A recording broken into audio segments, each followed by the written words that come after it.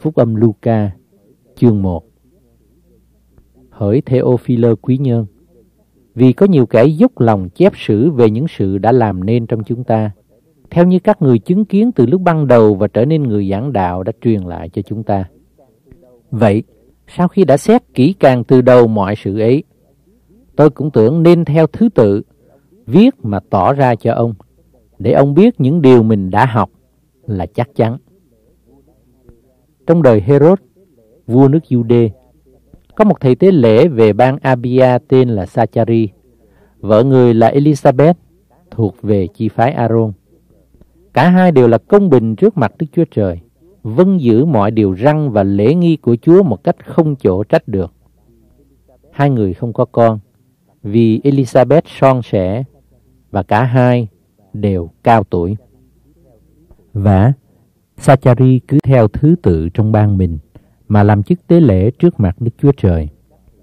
Khi đã bắt thăm theo lệ các thầy cả lập ra rồi, thì người được gọi vào nơi thánh của Chúa để dân hương. Đang giờ dân hương, cả đoàn dân đông đều ở ngoài cầu nguyện. Bây giờ có một thiên sứ của Chúa hiện ra cùng Sachari đứng bên hữu bàn thờ sông Hương. Sachari thấy thì bối rối sợ hãi. Nhưng thiên sứ nói cùng người rằng, Hỡi Sachari, đừng sợ, vì lời cầu nguyện ngươi đã được nhậm rồi. Elizabeth vợ ngươi sẽ sanh một con trai, ngươi khá đặt tên là Giăng. Con trai đó sẽ làm cho ngươi vui mừng hớn hở và nhiều kẻ sẽ mừng rỡ về sự sinh người ra. Vì người sẽ nên tôn trọng trước mặt Chúa, không uống rượu hay là giống gì làm cho sai và sẽ được đầy dẫy Đức Thánh Linh từ khi còn trong lòng mẹ người sẽ làm cho nhiều con trai Israel trở lại cùng Chúa là Đức Chúa Trời của họ. Chính người là sẽ lấy tâm thần quyền phép Eli mà đi trước mặt Chúa để đem lòng cha trở về con cái, kẻ loạn nghịch đến sự khôn ngoan của người công bình, đặng sửa soạn cho Chúa một dân sẵn lòng. Sachari thưa rằng, bởi sao tôi biết được điều đó, vì tôi đã già, vợ tôi đã cao tuổi rồi. Thiên sứ trả lời rằng, ta là Gabriel, đứng trước mặt Đức Chúa Trời. Ngài đã sai ta đến truyền cho ngươi và báo tin mừng này. Này, ngươi sẽ câm, không nói được cho đến ngày nào các điều ấy xảy ra, vì ngươi không tin lời ta là lời đến kỳ sẽ ứng nghiệm. Bây giờ dân chúng đợi Sachari và lấy làm lạ vì người ở lâu trong nơi thánh. Khi Sachari ra, không nói với chúng được thì họ mới hiểu rằng người đã thấy sự hiện thấy gì trong đền thánh. Người ra dấu cho họ mà vẫn còn câm. Khi những ngày về phần việc mình đã chọn, người trở về nhà. Khỏi ít lâu, vợ người là Elizabeth chịu thai, ẩn mình đi trong năm tháng mà nói rằng, ấy là ơn Chúa đã làm cho tôi, khi Ngài đã đói đến tôi để cất sự xấu hổ tôi giữa mọi người. Đến tháng thứ sáu, Đức Chúa Trời sai thiên sứ Gabriel đến thành Nazareth xứ Galilee. Tới cùng một người nữ đồng trinh tên là Mary đã hứa gả cho một người nam tên là Joseph về dòng vua David. Thiên sứ vào chỗ người nữ ở nói rằng, hỡi người được ơn, mừng cho ngươi, Chúa ở cùng ngươi. Mary nghe nói thì bối rối, tự hỏi rằng lời chào ấy có nghĩa gì. Thiên sứ bèn nói rằng, hỡi Mary, đừng sợ, vì ngươi đã được ơn trước mặt Đức Chúa Trời. Này, ngươi sẽ chịu thai và sinh một con trai mà đặt tên là Giêsu. Con trai ấy sẽ nên tôn trọng, được xưng là con của đấng rất cao. Và Chúa là Đức Chúa Trời sẽ ban cho Ngài ngôi David là tổ phụ Ngài. Ngài sẽ trị vì đời đời nhà Gia Cốp, nước Ngài vô cùng. Marie bèn thưa rằng, tôi chẳng hề nhận biết người nam nào thì làm sao có được sự đó. Thiên sứ truyền rằng, Đức Thánh Linh sẽ đến trên ngươi, và quyền phép đấng rất cao sẽ che phủ ngươi dưới bóng mình. Cho nên con thánh sanh ra phải xưng là con Đức Chúa Trời. Kìa, Elizabeth bà con ngươi cũng đã chịu thai một trai trong lúc già nua. Người ấy vốn có tiếng là son mà nay cứ mang được sáu tháng rồi. Bởi vì không việc chi Đức Chúa Trời chẳng làm được. Marie thưa rằng, Tôi đây là tôi tớ Chúa. xin sự ấy xảy ra cho tôi như lời người truyền. Đoạn, thiên sứ lìa khỏi Mary. Trong những ngày đó, Mary chờ dậy, lật đật đi trong miền núi đến một thành về xứ Juda vào nhà Sachari mà chào Elizabeth. Và Elizabeth vừa nghe tiếng Mary chào, con nhỏ ở trong lòng liền nhảy nhót và Elizabeth được đầy dẫy Đức Thánh Linh bèn cất tiếng kêu rằng Ngươi có phước trong đám đàn bà, thai trong lòng ngươi cũng được phước. Nhân đâu ta được sự vẻ vang này là mẹ Chúa ta đến thăm ta. Bởi vì tai ta mới nghe tiếng ngươi chào, thì con nhỏ ở trong lòng ta liền nhảy mừng. Phước cho người đã tin, vì lời Chúa truyền cho sẽ được ứng nghiệm. Mary bèn nói rằng, Linh hồn tôi ngợi khen Chúa, tâm thần tôi mừng rỡ trong Đức Chúa Trời là cứu Chúa tôi. Vì Ngài đã đói đến sự hèn hạ của tôi tới Ngài. Này, từ rày về sau, muôn đời sẽ khen tôi là kẻ có phước, bởi đấng toàn năng đã làm các việc lớn cho tôi. Danh Ngài là Thánh, và Ngài thương xót kẻ kính sợ Ngài từ đời này sang đời kia. Ngài đã dùng cánh tay mình để tỏ ra quyền phép và phá tan mưu của kẻ kiêu ngạo toan trong lòng. Ngài đã cách người có quyền khỏi ngôi họ và nhắc kẻ khiêm nhường lên. Ngài đã làm cho kẻ đói được đầy thức ngon và đuổi kẻ giàu về tay không. Ngài đã vừa giúp Israel tôi tớ Ngài và nhớ lại sự thương xót mình đối với Abraham cùng con cháu người luôn luôn, như Ngài đã phán cùng tổ phụ chúng ta vậy. Marie ở với Elizabeth chừng ba tháng rồi trở về nhà mình. Bây giờ, đến ngày mãn nguyệt, Elizabeth sanh được một trai. Xóm riêng bà con nghe Chúa tỏ ra sự thương xót cả thể cho Elizabeth thì chia vui cùng người. Qua ngày thứ 8, họ đều đến để làm lễ cắt bì cho con trẻ và đặt tên là Sachari theo tên của cha. Nhưng mẹ nói rằng không, phải đặt tên con là Giang. Họ nói, trong bà con ngươi không ai có tên đó. Họ bèn ra dấu hỏi cha muốn đặt tên gì cho con.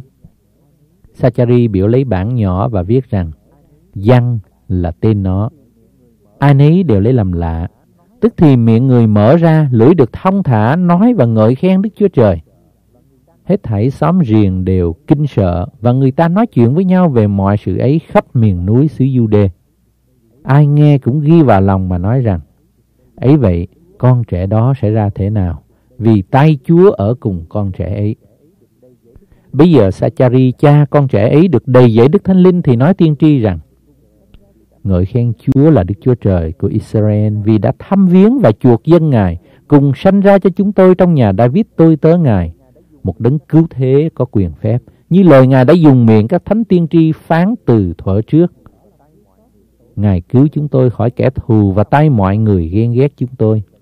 Ngài tỏ lòng thương xót đến tổ tông chúng tôi và nhớ lại lời giao ước thánh của Ngài, theo như Ngài đã thề với Abraham là tổ phụ chúng tôi, mà hứa rằng khi chúng tôi đã được cứu khỏi tay kẻ nghịch thù, Ngài sẽ ban ơn lành cho chúng tôi trước mặt Ngài.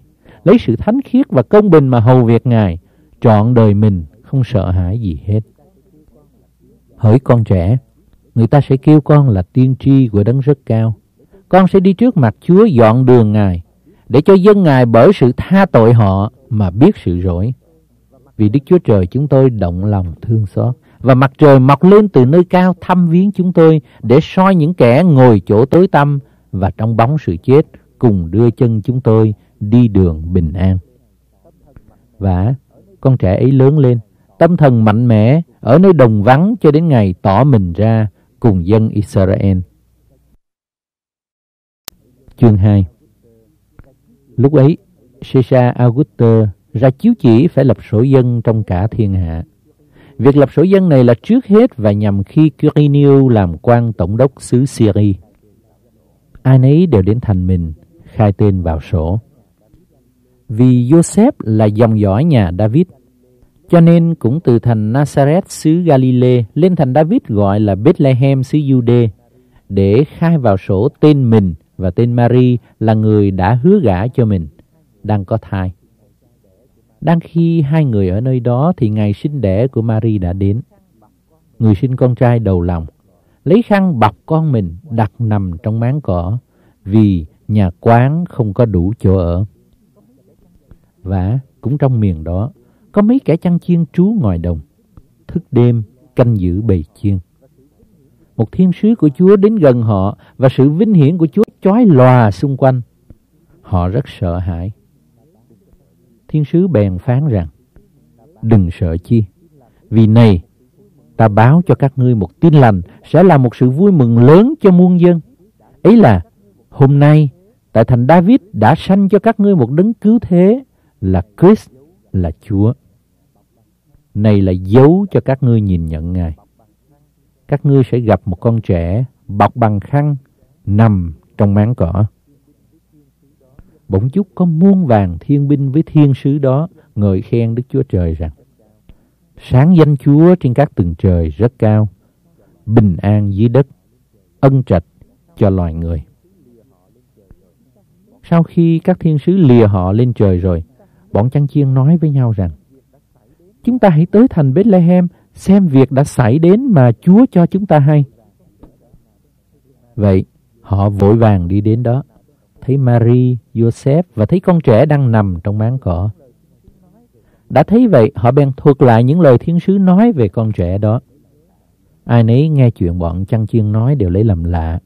Còn Mary thì ghi nhớ mọi lời ấy và suy nghĩ trong lòng.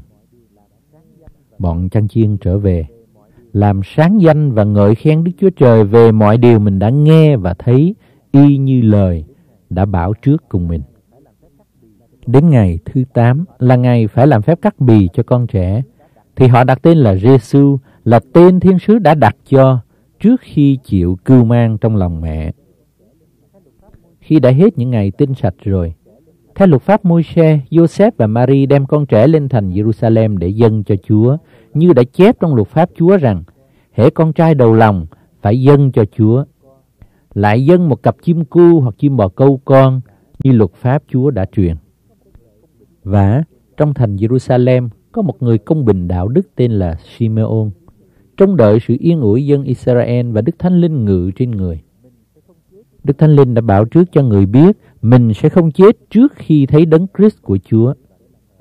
Vậy, người cảm bởi Đức Thánh Linh vào đền thờ, lúc có cha mẹ đem con trẻ là Giêsu đến để làm trọn cho Ngài các thường lệ mà luật pháp đã định, thì người bồng ẩm con trẻ mà ngợi khen Đức Chúa Trời rằng, Lạy Chúa, Bây giờ xin Chúa cho tôi tới Chúa được qua đời bình an, theo như lời Ngài.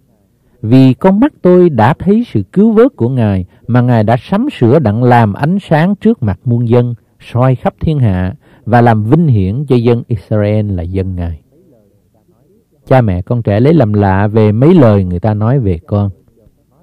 Simeon bèn chúc phước cho hai vợ chồng nói với Mary mẹ con trẻ rằng Đây con trẻ này đã định làm một cớ cho nhiều người trong Israel vấp ngã hoặc dấy lên và định làm một dấu gây nên sự cãi trả. Còn phần ngươi, có một thanh gươm sẽ đâm thấu qua lòng ngươi.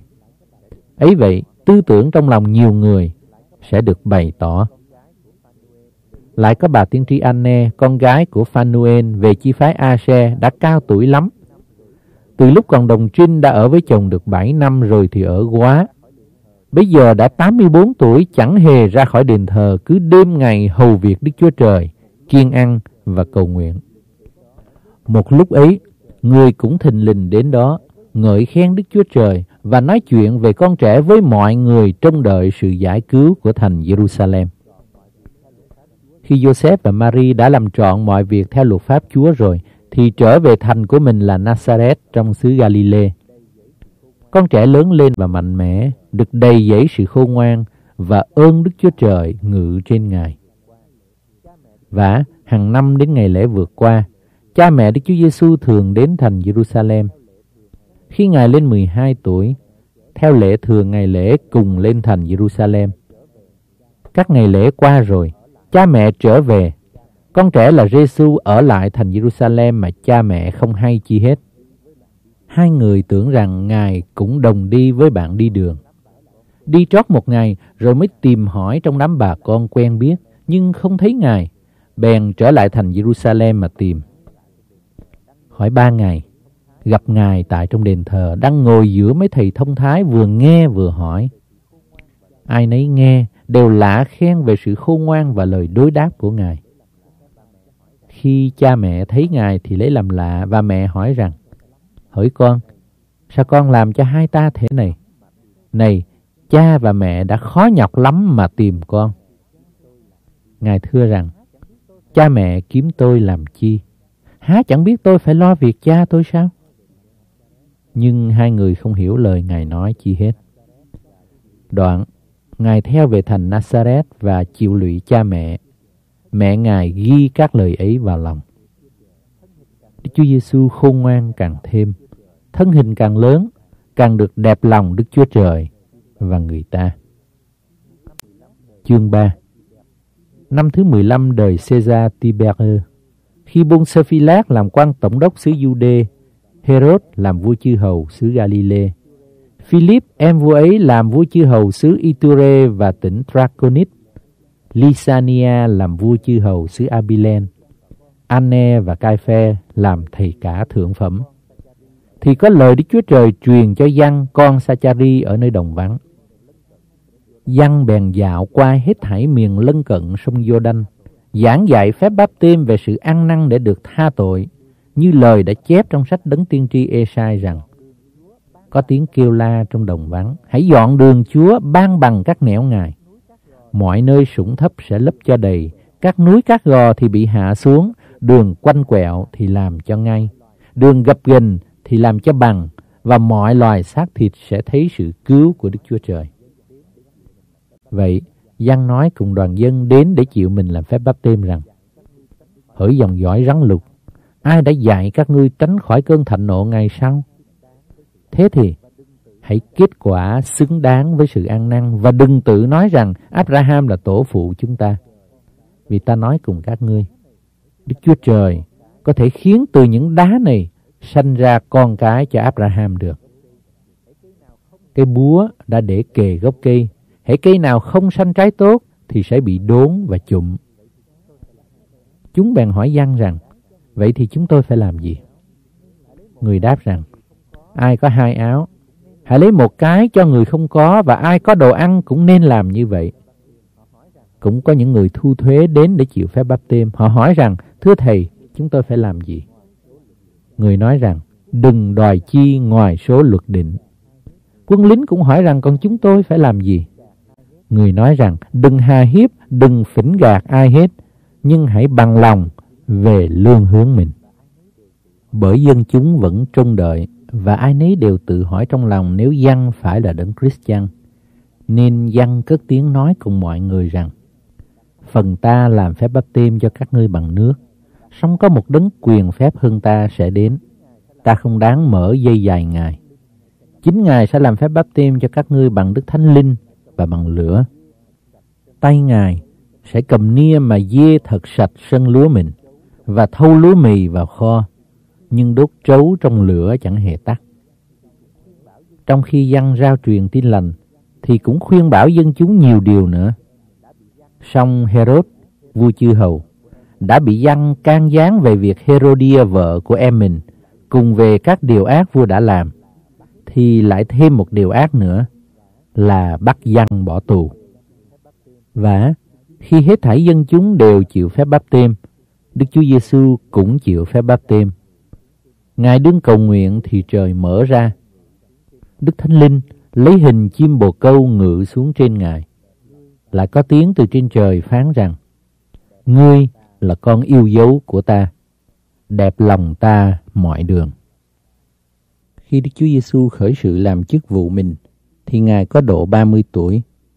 Theo ý người ta tin thì Ngài là con Joseph, Joseph con Heli, Heli con Mát Tác, Mát Tác con Levi, Levi con Menchi, Menchi con Yane, Yane con Joseph, Joseph con Matathia, Matathia con Amos, Amos con Nahum, Nahum con Ekli, Ekli con Nage, Nage con Maat, Maat con Matathia, Matathia con Semein, Semein con Yosek, Yosek con Yoda, Yoda con Yoanan, Yoanan con Resa, Resa con Sorobaben, Sorobaben con Salathien, Salathien con Neri, Neri con Menchi, Menchi con Adi, Adi con Kosam, Kosam con Enmadan, Enmadan con Ere, Ere con Giêsu, Giêsu con Eliese, Eliese con Yorim,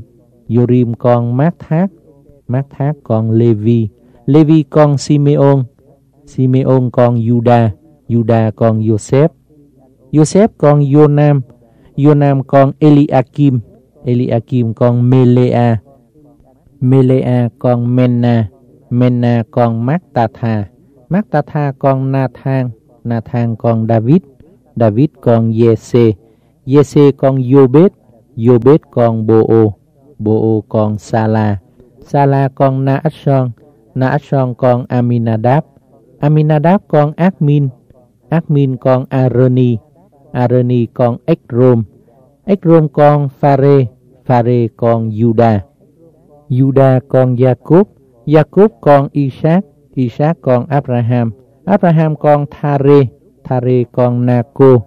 Naco con Seruk, Seruk con Ragao, Ragao con Phalet, Phalet con Hebe, Hebe con Sala, Sala con Cainam, Cainam con Abakshat, Abakshat con Shem, Shem con Noe, Noe con Lamech, Lamech con Matusela, Matusela con Henoch, Henoch con Yared, Yared con Meleleen, Meleleen con Cainam, Cainam con Enoch, Enoch con Seth, Seth con Adam, Adam con Đức Chúa Trời. Chương thứ tư Đức Chúa Giêsu đầy dẫy Đức Thánh Linh ở bờ sông Giô-đanh về thì được Đức Thánh Linh đưa đến trong đồng vắng. Tại đó Ngài bị ma quỷ cám dỗ trong 40 ngày. Trong những ngày ấy Ngài không ăn chi hết. Kỳ đã mãn thì Ngài đói. Ma quỷ bèn nói với Ngài rằng, nếu ngươi là con Đức Chúa Trời thì hãy khiến đá này trở nên bánh đi. Đức Chúa Giêsu đáp, Có chép rằng, loài người được sống chẳng phải chỉ nhờ bánh mà thôi. Ma quỷ đem Ngài lên, cho xem mọi nước thế gian trong giây phút và nói rằng, ta sẽ cho ngươi hết thảy quyền phép và sự vinh hiển của các nước đó, vì đã giao cho ta hết, ta muốn cho ai tùy ý ta. Vậy, nếu ngươi sắp mình xuống trước mặt ta, mọi sự đó sẽ thuộc về ngươi cả. Đức Chúa Giêsu đáp, có chép rằng, ngươi phải thờ phượng Chúa là Đức Chúa Trời ngươi và chỉ hầu việc một mình Ngài mà thôi. Ma quỷ cũng đem Ngài đến thành Jerusalem để Ngài trên nóc đền thờ mà nói rằng, nếu ngươi là con Đức Chúa Trời, hãy gieo mình xuống đi vì có chép rằng Chúa sẽ truyền cho thiên sứ gìn giữ ngươi, các đấng ấy sẽ nâng ngươi trong tay, kẻo ngươi vấp chân nhầm đá nào chăng. Đức Chúa Giêsu đáp, có phán rằng, ngươi đừng thử Chúa là Đức Chúa Trời ngươi. Ma quỷ dùng hết cách cám dỗ Ngài rồi, bèn tạm lìa Ngài. Đức Chúa Giêsu được quyền phép Đức Thánh Linh trở về xứ Galilee và danh tiếng Ngài đồn khắp các xứ chung quanh. Ngài dạy dỗ trong các nhà hội, ai nấy đều khen ngợi Ngài. Đức Chúa Giêsu đến thành Nazareth là nơi dưỡng dục Ngài. Theo thói quen, nhằm ngày sa bát, Ngài vào nhà hội đứng dậy và đọc. Có người trao sách tiên tri Esai cho Ngài.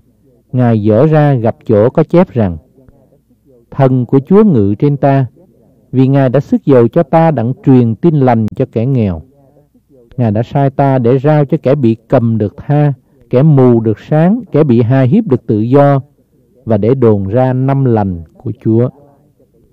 Đoạn Ngài xếp sách trả lại cho kẻ giúp việc rồi ngồi xuống. Mọi người trong nhà hội đều chăm chỉ ngó Ngài. Ngài bèn phán rằng, hôm nay đã được ứng nghiệm lời kinh thánh mà các ngươi mới vừa nghe đó. Ai nấy đều làm chứng về Ngài, lấy làm lạ về các lời đầy ơn lành từ miệng Ngài ra và nói rằng, có phải con Joseph chăng?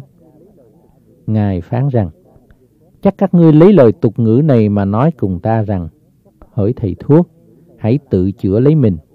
Mọi điều chúng ta nghe ngươi đã làm tại Capernaum thì cũng hãy làm tại đây là quê hương ngươi.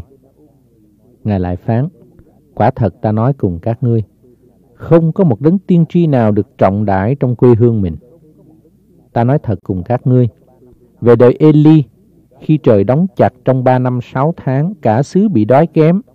Trong dân Israel có nhiều đàn bà quá. Do vậy Eli chẳng được sai đến cùng một người nào trong đám họ, nhưng được sai đến cùng một đàn bà quá ở Sarepta xứ Sidon. Trong đời đấng tiên tri Elise, dân Israel cũng có nhiều kẻ mắc tật phung, song không có ai lành sạch được, chỉ Naaman, người xứ Syria mà thôi. Ai nấy ở trong nhà hội nghe những điều đó thì tức giận lắm. Họ đứng dậy kéo Ngài ra ngoài thành, đưa Ngài lên chót núi là nơi họ xây thành ở trên để quăng Ngài xuống song Ngài qua giữa bọn họ và đi khỏi. Ngài xuống thành Capernaum thuộc xứ Galilee, dạy dỗ trong ngày sa bát. Mọi người đều cảm động về sự dạy dỗ của Ngài, vì Ngài dùng quyền phép mà phán. Và trong nhà hội có một người bị tà ma ám, cất tiếng kêu lớn lên rằng, hỡi Giêsu Nazareth, chúng tôi với Ngài có sự gì chăng? Ngài đến để diệt chúng tôi sao? Tôi biết Ngài là ai, là đấng thánh của Đức Chúa Trời. Xong Đức Chúa Giêsu quở nặng nó mà rằng, hãy nín đi và ra khỏi người này. Quỷ bèn vật ngã người giữa đám đông rồi ra khỏi không làm hại chi đến người. Mọi người đều sững sờ nói cùng nhau rằng ấy là đạo gì đó. Người lấy phép và quyền đuổi tà ma và chúng nó liền ra. Vậy danh tiếng Ngài đồn khắp các nơi xung quanh. Đức Chúa Giêsu ra khỏi nhà hội, vào nhà Simon. Bà gia Simon đang đau rét nặng lắm. Người ta xin Ngài chữa cho. Ngài bèn nghiêng mình trên người, truyền cho cơn rét, rét liền lìa khỏi. Tức thì người chờ dậy hầu việc. Khi mặt trời lặn rồi, ai nấy có người đau, bất kỳ bệnh gì đều đem đến cùng Ngài. Ngài đặt tay lên từng người mà chữa cho họ.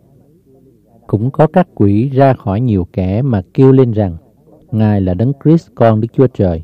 Nhưng Ngài quở nặng chúng nó, cấm không cho nói mình biết Ngài là Đấng Christ. Vừa rạng ngày, Ngài ra đi đến nơi vắng vẻ. Một đoàn dân đông kéo đi tìm Ngài. Họ theo kịp, giữ Ngài ở lại không muốn để Ngài đi. Nhưng Ngài phán cùng họ rằng, ta cũng phải rao tin lành của nước Đức Chúa Trời nơi các thành khác, vì cốt tại việc đó mà ta được sai đến. Vậy, Ngài giảng dạy trong các nhà hội xứ Galilee. Chương 5 Khi Đức Chúa Giêsu ở trên bờ hồ Genesaret, đoàn dân đông chen lấn nhau xung quanh Ngài đặng nghe đạo Đức Chúa Trời. Ngài thấy hai chiếc thuyền đậu gần bờ.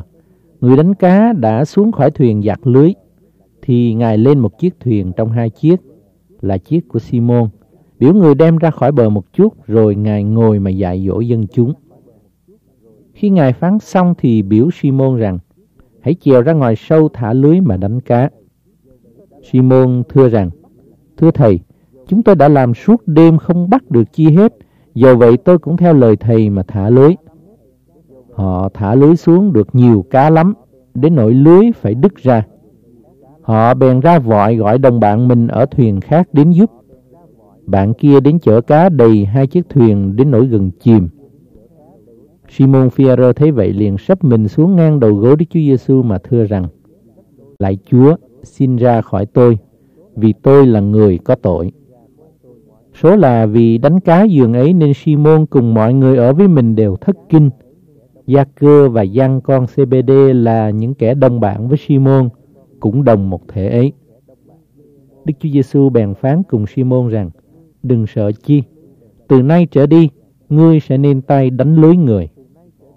Đoạn họ đem thuyền vào bờ, bỏ hết thảy mà theo Ngài. Đức Chúa Giêsu đương ở trong thành kia. Có một người mắc bệnh phun đầy mình, thấy Ngài thì sắp mặt xuống đất mà nài xin rằng, Lạy Chúa, nếu Chúa khứng chắc có thể làm cho tôi được sạch. Đức Chúa Giêsu giơ tay rờ đến người ấy mà phán rằng, Ta khứng, hãy sạch đi. Tức thì bệnh phun liền hết. Đức Chúa Giêsu cấm người đó học chuyện lại với ai, nhưng dặn rằng hãy đi tỏ mình cùng thầy tế lễ và dân của lễ về sự ngươi được sạch theo như môi xe dạy để điều đó làm chứng cho họ. Danh tiếng Ngài càng ngày càng vang ra và một đoàn dân đông nhóm họp để nghe Ngài và để được chữa lành bệnh. Xong Ngài lánh đi nơi đồng vắng mà cầu nguyện.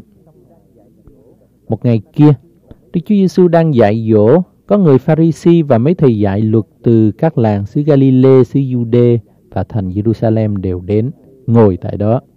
Quyền phép Chúa ở trong Ngài để chữa lành các bệnh. Bây giờ, có mấy người khiêng một kẻ đau bại trên giường, kiếm cách đem vào để trước mặt Đức Chúa Giêsu.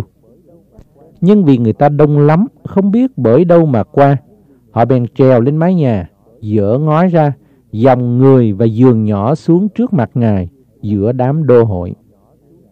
Đức Chúa Giêsu thấy đức tin của họ bèn phán rằng: Hỡi người, tội lỗi ngươi đã được tha.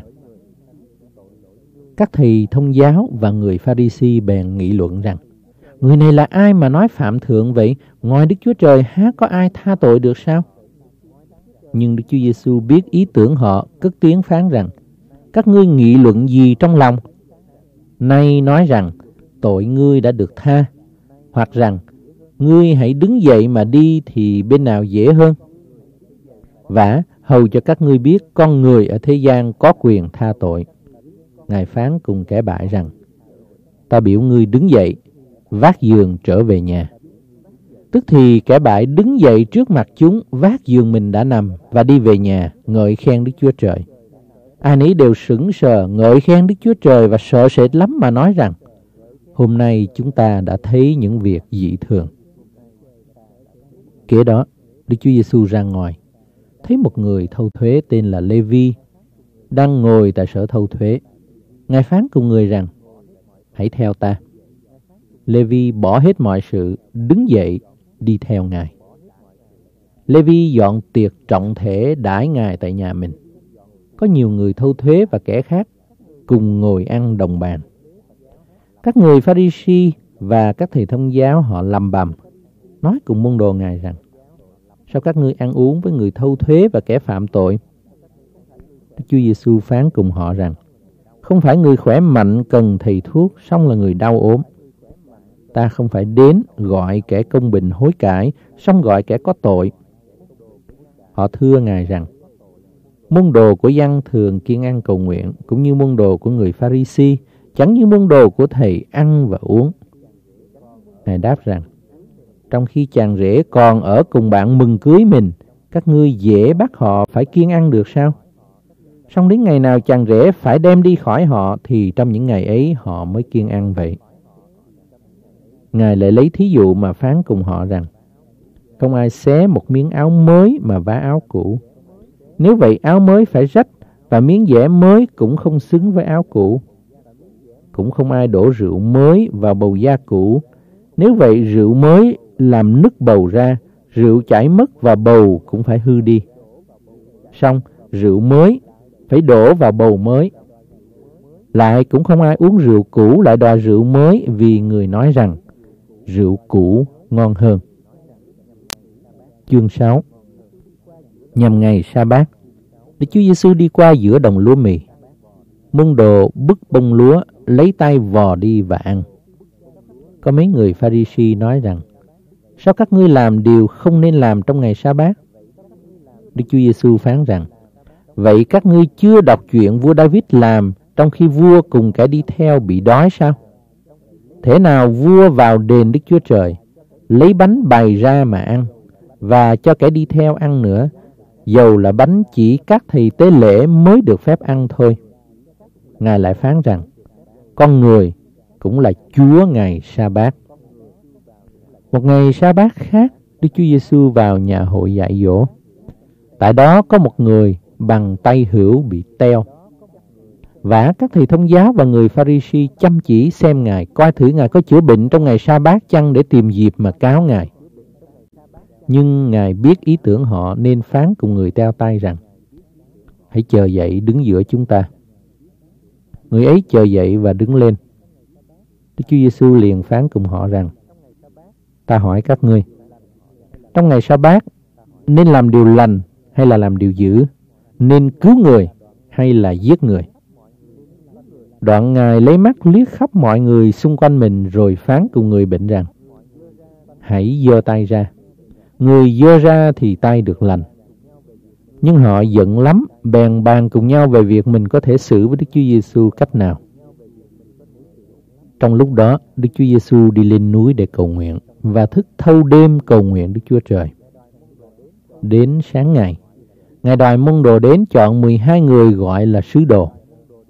Simon, Ngài đặt tên là Phi-e-rơ, Andre em ruột của Phi-a-rơ, Gia-cơ và Giăng, Philip và Barthélemy, Matthew và Thomas, Gia-cơ con của A-phê, Simon gọi là Selot, Jude con của Gia-cơ và Judas Iscariot là kẻ phản ngài. Kế đó, Ngài cùng môn đồ xuống, dừng lại nơi đồng bằng. Ở đó có nhiều môn đồ Ngài cùng đoàn dân rất đông từ khắp xứ Jude, thành Jerusalem và miền biển Tyre Sidon mà đến để nghe Ngài dạy và cho được chữa lành bệnh mình. Những kẻ mắc tà ma khuấy hại cũng đều được lành. Cả đoàn dân đến kiếm cách rờ Ngài, vì từ Ngài có quyền phép ra chữa lành hết mọi người. Đức Chúa Giêsu bèn ngước mắt ngó môn đồ mà phán rằng: Phước cho các ngươi nghèo khó, vì nước Đức Chúa Trời thuộc về các ngươi. Phước cho các ngươi hiện đang đói, vì sẽ được no đủ. Phước cho các ngươi hiện đang khóc lóc, vì sẽ được vui mừng. Phước cho các ngươi khi vì cớ con người, thiên hạ sẽ ghét, đuổi, mắng nhiếc các ngươi, bỏ tên các ngươi như đồ ô uế. Ngày đó hãy vui vẻ nhảy nhót và mừng rỡ, vì phần thưởng các ngươi trên trời sẽ lớn lắm, bởi tổ phụ họ cũng đối đãi các đấng tiên tri dường ấy. Xong, khốn cho các ngươi là người giàu có vì đã được sự yên ủi của mình rồi. Khốn cho các ngươi là kẻ hiện đương no vì sẽ đói. Khốn cho các ngươi là kẻ hiện đương cười vì sẽ để tan và khóc lóc. Khốn cho các ngươi khi mọi người sẽ khen các ngươi vì tổ phụ họ cũng xử với các tiên tri giả như vậy. Nhưng ta phán cùng các ngươi là người nghe ta. Hãy yêu kẻ thù mình, làm ơn cho kẻ ghét mình, chúc phước cho kẻ rủa mình và cầu nguyện cho kẻ sỉ nhục mình. Ai vả ngươi má bên này, hãy đưa luôn má bên kia cho họ. Còn nếu ai giật áo ngoài của ngươi thì cũng đừng ngăn họ lấy luôn áo trong hãy ai xin, hãy cho. Và nếu có ai đoạt lấy của các ngươi thì đừng đòi lại. Các ngươi muốn người ta làm cho mình thế nào, hãy làm cho người ta thế ấy. Nếu các ngươi yêu kẻ yêu mình thì có ơn chi, người có tội cũng yêu kẻ yêu mình. Nếu các ngươi làm ơn cho kẻ làm ơn mình thì có ơn chi, người có tội cũng làm như vậy. Nếu các ngươi cho ai mượn mà mong họ trả thì có ơn chi?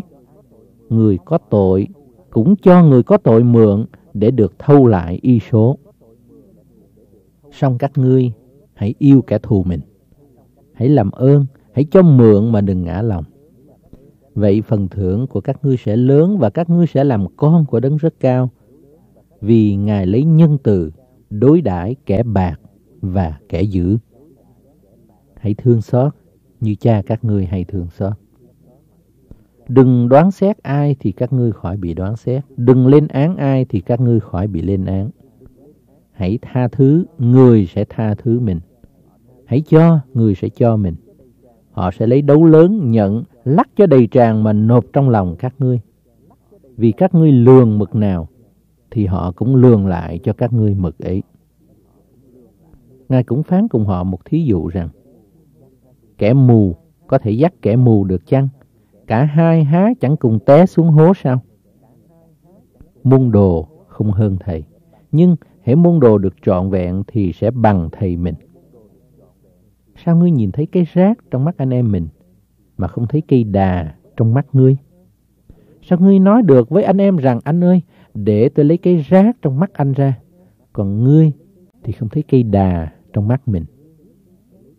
Hỏi kẻ giả hình, hãy lấy cây đà ra khỏi mắt mình trước đã, rồi mới thấy rõ mà lấy cái rác ra khỏi mắt anh em. Cây xanh trái xấu không phải là cây tốt. Cây xanh trái tốt không phải là cây xấu, vì hễ xem trái thì biết cây. Người ta không hái được trái vả nơi bụi gai hay là trái nho nơi chùm kinh cước.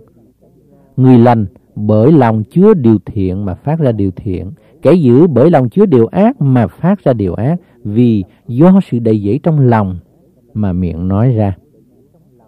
Sao các ngươi gọi ta Chúa Chúa mà không làm theo lời ta phán?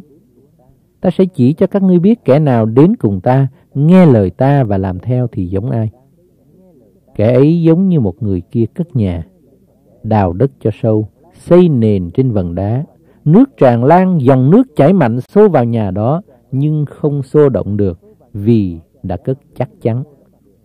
Xong, kẻ nào nghe lời ta mà không làm theo, thì giống như một người kia cất nhà trên đất không xây nền. Dòng nước chảy mạnh xô vào nhà đó, tức thì nhà sụp xuống và sự hư hại lớn lao.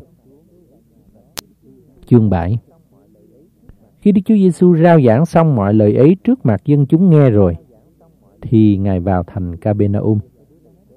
Và một thầy đội kia có đứa đầy tớ rất thiết nghĩa đau gần chết. Nghe nói Đức Chúa Giêsu bèn sai mấy trưởng lão trong dân Juda xin Ngài đến chữa cho đầy tớ mình. Mấy người đó đến cùng Đức Chúa Giêsu mà nài xin rằng: Thầy đội thật đáng cho thầy nhậm điều này, vì người yêu dân ta và đã cất nhà hội cho chúng tôi. Đức Chúa Giêsu bèn đi với họ.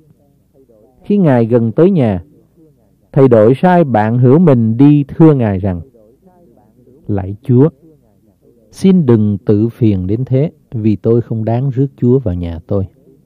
Tôi cũng nghĩ mình không đáng đến cùng Chúa. Xong xin phán một lời, thì đầy tớ tôi sẽ được lành. Vì chính mình tôi là người thuộc dưới quyền kẻ khác, tôi cũng có quân lính dưới quyền tôi. Tôi biểu tin này rằng hãy đi thì nó đi, biểu tin khác rằng hãy đến thì nó đến, và biểu đầy tớ tôi rằng hãy làm việc này thì nó làm.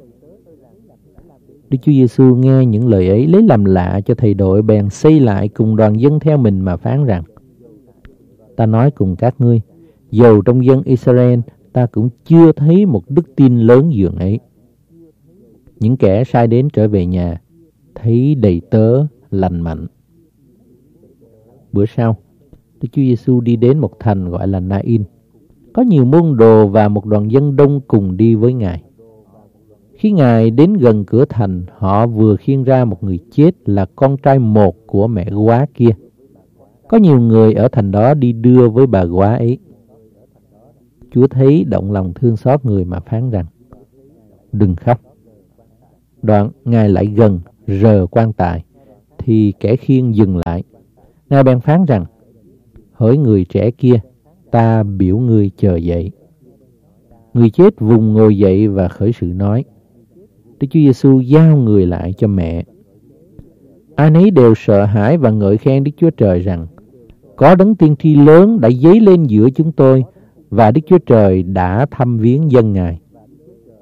Tin này đồn ra khắp xứ Jude và khắp xứ xung quanh nơi đó nữa. Môn đồ của giăng trình lại hết cả chuyện đó với người.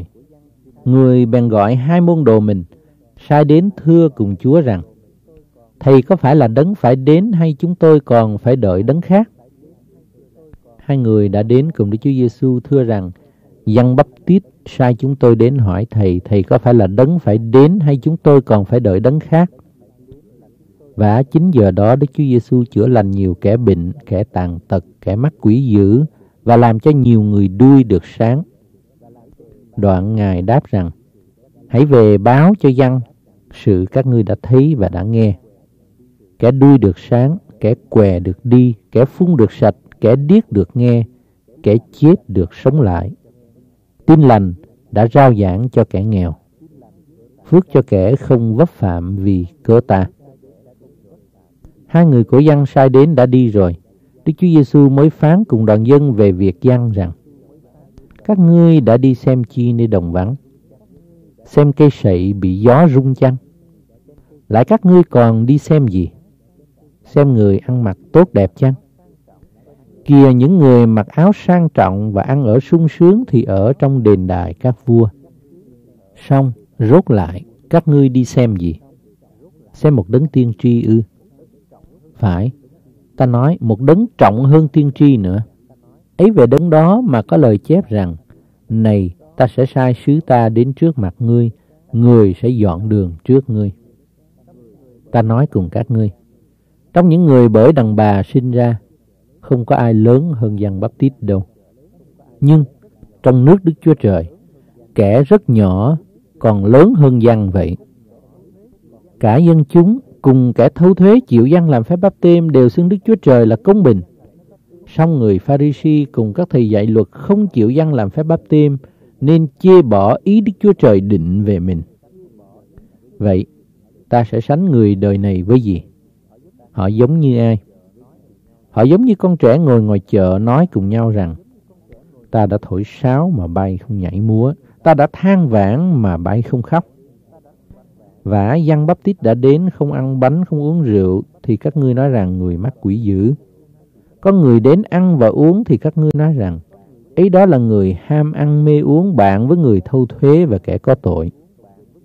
Song sự khôn ngoan được xưng công bình nhờ những việc làm của nó. Có một người Pharisee mời Đức Chúa Giêsu ăn tại nhà mình. Vậy khi đã vào nhà người Pharisee thì Ngài ngồi bàn.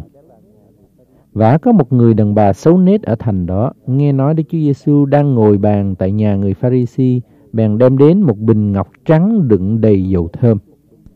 Người đứng đằng sau nơi chân Đức Chúa Giêsu khóc, xa nước mắt trên chân Ngài, rồi lấy tóc mình mà chùi, lại hôn chân Ngài và sức dầu thơm cho. Người Pharisee đã mời Ngài thấy vậy tự nghĩ rằng nếu người này là đấng tiên tri chắc biết người đàn bà rờ đến mình đó là ai, cùng biết ấy là người đàn bà xấu nết. Đức Chúa Giêsu bèn cất tiếng phán cùng người rằng: Hỡi Simon, ta có vài lời nói cùng ngươi. Người thưa rằng, thưa thầy, xin cứ nói. Một chủ nợ có hai người mắc nợ. Một người mắc 500 denier, một người mắc 50. Vì hai người đều không có chi mà trả nên chủ nợ tha cả hai. Trong hai người đó, ai yêu chủ nợ hơn? Simon thưa rằng, tôi tưởng là người mà chủ nợ đã tha nhiều nợ hơn. Đức Chúa Giêsu phán rằng, người đoán phải lắm. Đoạn Ngài xây lại người đàn bà mà phán cùng Simon rằng, Ngươi thấy đàn bà này không? Ta vào nhà ngươi, ngươi không cho nước rửa chân. Nhưng người đã lấy nước mắt thấm ướt chân ta rồi lấy tóc mình mà chùi. Ngươi không hôn ta, nhưng người từ khi vào nhà ngươi thì hôn chân ta hoài. Ngươi không sức dầu đầu ta, nhưng người lấy dầu thơm sức chân ta. Vậy nên ta nói cùng ngươi, tội lỗi đàn bà này nhiều lắm đã được tha hết vì người đã yêu mến nhiều. Song kẻ được tha ít thì yêu mến ít. Ngài bèn phán cùng người đàn bà rằng, tội lỗi ngươi đã được tha rồi. Các người ngồi bàn với Ngài nghĩ thầm rằng, người này là ai mà cũng tha tội. Nhưng Ngài phán cùng người đàn bà rằng, đức tin của ngươi đã cứu ngươi. Hãy đi cho bình an. Chương 8 Kế đó, Đức Chúa Giêsu đi thành này đến thành kia, làng này đến làng khác, giảng dạy và rao truyền tin lành của nước Đức Chúa Trời. Có 12 sứ đồ ở với Ngài. Cũng có mấy người đàn bà đi theo Ngài là những người đã được cứu khỏi quỷ dữ và chữa khỏi bệnh. Marie gọi là Madeleine, từ người bảy quỷ dữ đã ra. Janne vợ Chusa là quan nội vụ của vua Herod. Susanna và nhiều người khác nữa giúp của cải cho Ngài. Khi có đoàn dân đông nhóm lại và người hết thảy các thành đều đến cùng Ngài, thì Ngài lấy thí dụ mà phán cùng họ rằng, Người gieo đi ra để gieo giống mình. Khi vải giống, một phần giống rơi ra dọc đường bị dài đạp và chim trời xuống ăn hết. Một phần khác rơi ra nơi đất đá sỏi, khi mới mọc lên liền héo đi vì không có hơi ẩm. Một phần khác rơi vào bụi gai, gai mọc lên với hột giống làm cho nghẹt ngòi. Lại có một phần khác rơi xuống nơi đất tốt thì mọc lên và kết quả một thành trăm. Đương phán mấy lời đó, Ngài kêu lên rằng, ai có tai mà nghe, hãy nghe. Môn đồ hỏi Ngài thí dụ ấy có nghĩa gì? Ngài đáp rằng, đã ban cho các ngươi được biết những sự mầu nhiệm nước Đức Chúa Trời. Xong, với kẻ khác thì dùng thí dụ mà nói, để họ xem mà không thấy, nghe mà không hiểu. Này, lời thí dụ đó nghĩa như vậy. Hột giống là đạo Đức Chúa Trời. Phần rơi ra dọc đường là những kẻ đã nghe đạo, nhưng về sau ma quỷ đến cướp lấy đạo từ trong lòng họ, e rằng họ tin mà được cứu chăng. Phần rơi ra đất đá sỏi là kẻ nghe đạo bèn vui mừng chịu lấy, nhưng họ không có rễ, chỉ tin tạm mà thôi. nên khi sự thử thách xảy đến thì họ tháo lui. Phần rơi vào bụi gai là những kẻ đã nghe đạo nhưng rồi đi để cho sự lo lắng, giàu sang, sung sướng đời này làm cho đạo phải nghẹt ngòi, đến nỗi không sanh trái nào được chín. Song phần rơi vào nơi đất tốt là kẻ có lấy lòng thật thà tử tế nghe đạo, gìn giữ và kết quả một cách bền lòng. Không ai đã thắp đèn lại lấy thùng úp lại, hay là để dưới giường, nhưng để trên chân đèn hầu cho ai vào nhà đều thấy sáng.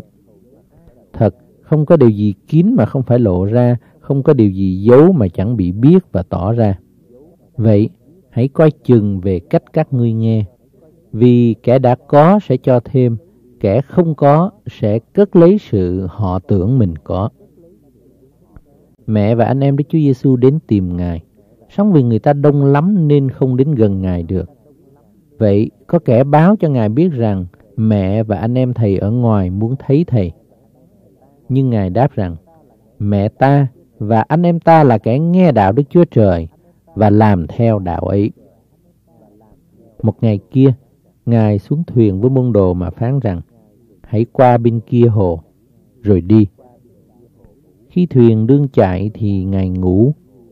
Có cơn bão nổi lên trong hồ, nước vào đầy thuyền, đương nguy hiểm lắm. Môn đồ bèn đến thức Ngài dậy rằng, Thầy ơi, thầy ơi, chúng ta chết. Nhưng Ngài vừa thức dậy khiến gió và sóng phải bình tĩnh, thì liền bình tĩnh và yên lặng như tờ.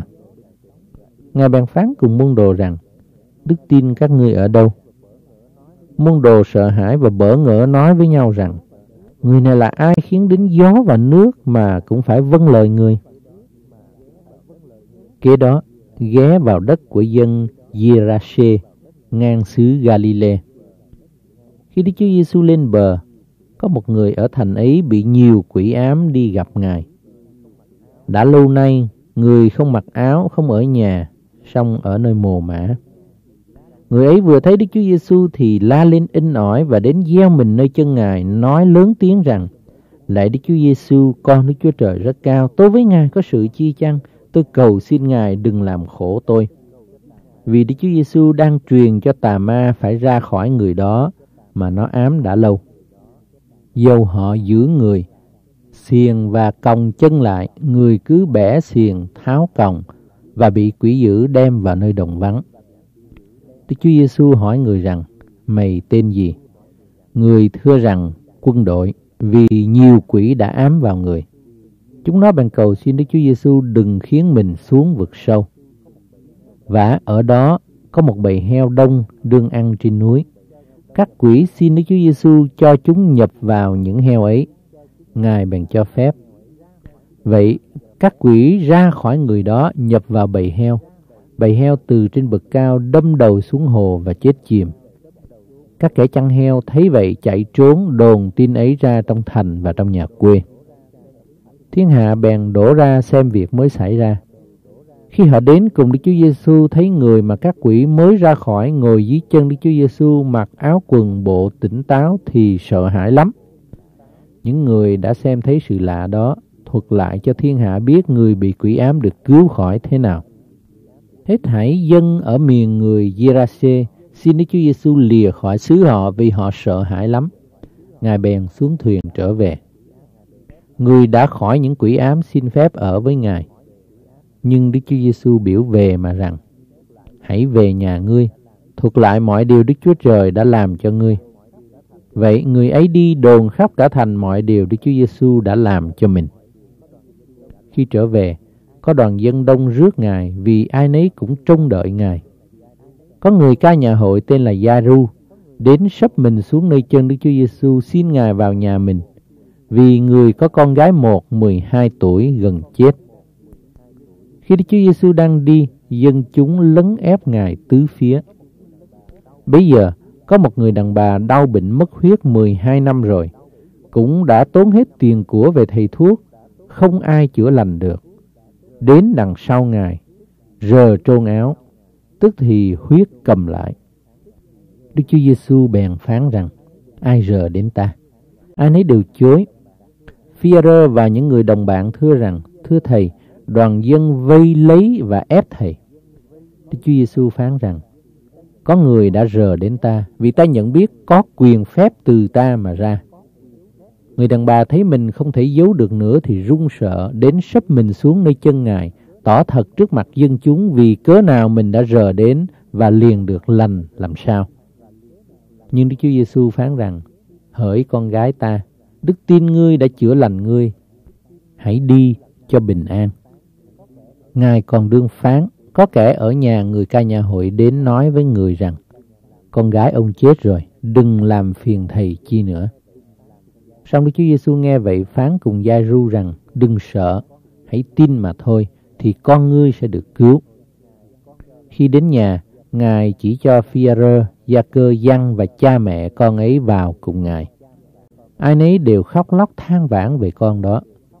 Nhưng Ngài phán rằng, đừng khóc, con này không phải chết, xong nó ngủ. Họ biết nó thật chết rồi bèn nhạo bán Ngài. Nhưng Đức Chúa Giêsu cầm lấy tay con ấy gọi lớn tiếng lên rằng, con ơi, hãy chờ dậy. Thần linh bèn hoàn lại, con ấy chờ dậy liền, rồi Ngài truyền cho nó ăn. Cha mẹ nó lấy làm lạ, nhưng Ngài cấm nói lại sự xảy ra đó với ai. Chương 9 Đức Chúa Giêsu nhóm họp 12 sứ đồ, ban quyền năng phép tắc để trị quỷ chữa bệnh. Rồi Ngài sai đi rao giảng về nước Đức Chúa Trời cùng chữa lành kẻ có bệnh. Ngài dạy rằng, đi đường chớ đem gì theo hết, hoặc gậy, hoặc bao, hoặc bánh, hoặc tiền bạc. Cũng đừng đem hai áo. Hãy các ngươi vào nhà nào, hãy ở đó cho đến khi đi. Còn ai không tiếp rước các ngươi, hãy ra khỏi thành họ và phủi bụi chân mình để làm chứng nghịch cùng họ.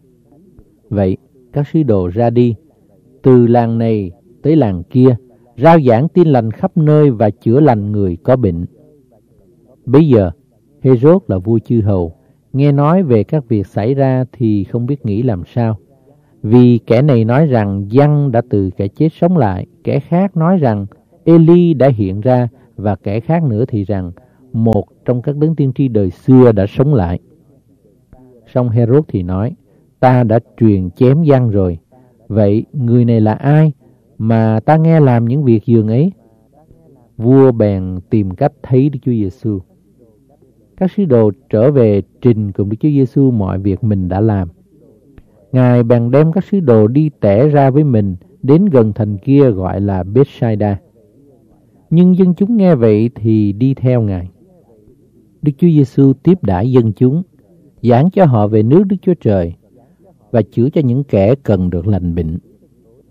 Khi gần tối, 12 sứ đồ đến gần Ngài mà thưa rằng, xin truyền cho dân chúng về để họ đến các làng các ấp xung quanh mà trọ và kiếm chi ăn vì chúng ta ở đây là nơi vắng vẻ. Song Ngài phán rằng, chính các ngươi hãy cho họ ăn. Các sứ đồ thưa rằng, ví thử chính mình chúng tôi không đi mua đồ ăn cho hết thảy dân này, thì chỉ có năm cái bánh và hai con cá mà thôi. Và bây giờ có độ năm ngàn người nam ở đó. Ngài bèn phán cùng môn đồ rằng, hãy biểu chúng ngồi từng hàng năm mươi người. Môn đồ làm theo lời, chúng ngồi xuống hết thảy. Đoạn Đức Chúa Giêsu lấy năm cái bánh và hai con cá, ngước mắt lên trời, chúc tạ, rồi bẻ ra trao cho môn đồ đặng phát cho đoàn dân. Ai nấy ăn no rồi, người ta thâu được 12 giỏ đầy những miếng thừa. Một ngày kia, Đức Chúa Giêsu đang cầu nguyện riêng. Môn đồ nhóm lại xung quanh Ngài. Ngài hỏi rằng, trong dân chúng họ nói ta là ai? Thưa rằng người này nói là Giăng Bắp Tít, người kia nói là Eli, kẻ khác nói là một trong các đấng tiên tri đời xưa sống lại. Ngài lại hỏi rằng, còn về phần các ngươi thì nói ta là ai? phi thưa rằng, Thầy là đấng Christ của Đức Chúa Trời. Đức Chúa Giêsu nghiêm cấm môn đồ nói sự ấy với ai và phán thêm rằng, con người phải chịu nhiều điều khốn khổ, phải bị các trưởng lão, các thầy tế lễ cả và các thầy thông giáo bỏ ra, phải bị giết, ngày thứ ba phải sống lại. Đoạn Ngài phán cùng mọi người rằng, nếu ai muốn theo ta, phải tự bỏ mình đi, mỗi ngày vác thập tự giá mình mà theo ta. Vì ai muốn cứu sự sống mình thì sẽ mất, còn ai vì cớ ta mất sự sống thì sẽ cứu. Nếu ai được cả thiên hạ mà chính mình phải mất hoặc hư đi thì có ích gì? Vì nếu ai hổ thẹn về ta và lời ta thì con người sẽ hổ thẹn về họ khi Ngài ngự trong sự vinh hiển của mình, của cha và của thiên sứ thánh mà đến. Quả thật, ta nói cùng các ngươi, một vài người trong các ngươi đương đứng đây sẽ không chết trước khi chưa thấy nước Đức Chúa Trời. Độ 8 ngày sau khi phán các lời đó, Đức Chúa Giêsu đem Phi-e-rơ, Giăng và Gia-cơ đi với mình lên trên núi để cầu nguyện. Đang khi cầu nguyện, diện mạo Ngài khác thường, áo Ngài trở nên sắc trắng chói lòa. Và này, có hai người nói chuyện cùng Ngài, ấy là Môi-se và Eli hiện ra trong sự vinh hiển và nói về sự Ngài qua đời là sự sẽ phải ứng nghiệm tại thành Jerusalem. Phi-a-rơ cùng đồng bạn mình buồn ngủ lắm, nhưng vừa tỉnh thức ra thấy vinh hiển của Đức Chúa Giêsu và hai đấng ấy đứng gần Ngài. Lúc hai đấng ấy lìa khỏi Đức Chúa Giêsu, Phi-a-rơ thưa Ngài rằng: Thưa thầy, chúng ta ở đây tốt lắm. Hãy đóng ba trại, một cái cho thầy, một cái cho Môi-se và một cái cho Eli. Vì Phi-a-rơ không biết mình nói chi. Khi người còn đang nói, có một đám mây kéo đến bao phủ lấy và khi vào trong đám mây, các môn đồ đều sợ hãi. Bây giờ nghe có tiếng từ trong đám mây phán ra rằng, Này là con ta, người được lựa chọn của ta, hãy nghe người. Khi tiếng ấy phát ra thì Đức Chúa Giêsu ở một mình. Các môn đồ nín lặng, không nói cùng ai về sự mình đã thấy. Bữa sau, khi Chúa cùng môn đồ từ núi xuống, có đoàn dân đông đến đón rước Ngài. Một người trong đám đông kêu lên rằng, Lạy Thầy, xin Thầy đói đến con trai tôi, vì là con một tôi. Một quỷ ám nó, thình lình kêu la, quỷ vật vả nó dữ tợn, làm cho sôi bọt miếng, mình mẩy nát hết rồi mới ra khỏi. Tôi đã xin môn đồ thầy đuổi quỷ đó nhưng họ đuổi không được. Đức Chúa Giêsu đáp rằng, hỡi dòng dõi không tin và bội nghịch kia, ta ở với các ngươi và nhịn các ngươi cho đến chừng nào. Hãy đem con của ngươi lại đi. Đứa con trai vừa lại gần, quỷ xô nó nhào xuống đất và vật vã dữ tợn. Xong Đức Chúa Giêsu quở nặng tà ma, chữa lành con trẻ ấy và giao lại cho cha nó. Ai nấy đều lấy làm lạ về quyền phép cao trọng của Đức Chúa Trời. Khi mọi người đang khen lạ các việc Đức Chúa Giêsu làm, Ngài phán cùng môn đồ rằng, Về phần các ngươi, hãy nghe kỹ điều ta sẽ nói cùng. Con người sẽ bị nộp trong tay người ta. Nhưng các môn đồ không hiểu lời ấy vì đã che khuất cho mình để chẳng rõ nghĩa làm sao và sợ không dám hỏi Ngài về lời ấy. Các môn đồ biện luận cùng nhau cho biết ai là lớn hơn hết trong hàng mình. Nhưng Đức Chúa Giêsu biết ý tưởng trong lòng môn đồ thì lấy một đứa con trẻ để gần mình mà phán rằng, hễ ai vì danh ta mà tiếp con trẻ này, tức là tiếp ta? Còn ai tiếp ta, tức là tiếp đấng đã sai ta? Vì kẻ nào hèn mọn hơn hết trong vòng các ngươi, ấy chính người đó là kẻ cao trọng. Văn cất tiếng nói rằng, thưa thầy, chúng tôi từng thấy có kẻ nhân danh thầy mà trừ quỷ chúng tôi đã cấm họ vì không cùng chúng tôi theo thầy nhưng Đức Chúa Giêsu phán rằng đừng cấm họ vì ai không nghịch cùng các ngươi là thuận các ngươi. Khi gần đến kỳ Đức Chúa Giêsu được đem lên khỏi thế gian, Ngài quyết định đi thành Jerusalem. Ngài sai kẻ đem tin đi trước mình. Họ ra đi và một làng của người Samari để sửa soạn nhà trọ cho Ngài. Song người Samari không tiếp rước Ngài, vì Ngài đi thẳng lên thành Jerusalem. Gia cơ và Giăng là môn đồ Ngài thấy vậy nói rằng, Thưa Chúa, Chúa có muốn chúng tôi khiến lửa từ trên trời xuống thiêu họ chăng? Nhưng Chúa Giêsu xây lại quở hai người mà rằng, các ngươi không biết tâm thần nào xui dục mình. Rồi Ngài cùng môn đồ đi qua làng khác. Đang khi đi đường, có kẻ thưa Ngài rằng, Chúa đi đâu, tôi sẽ theo đó.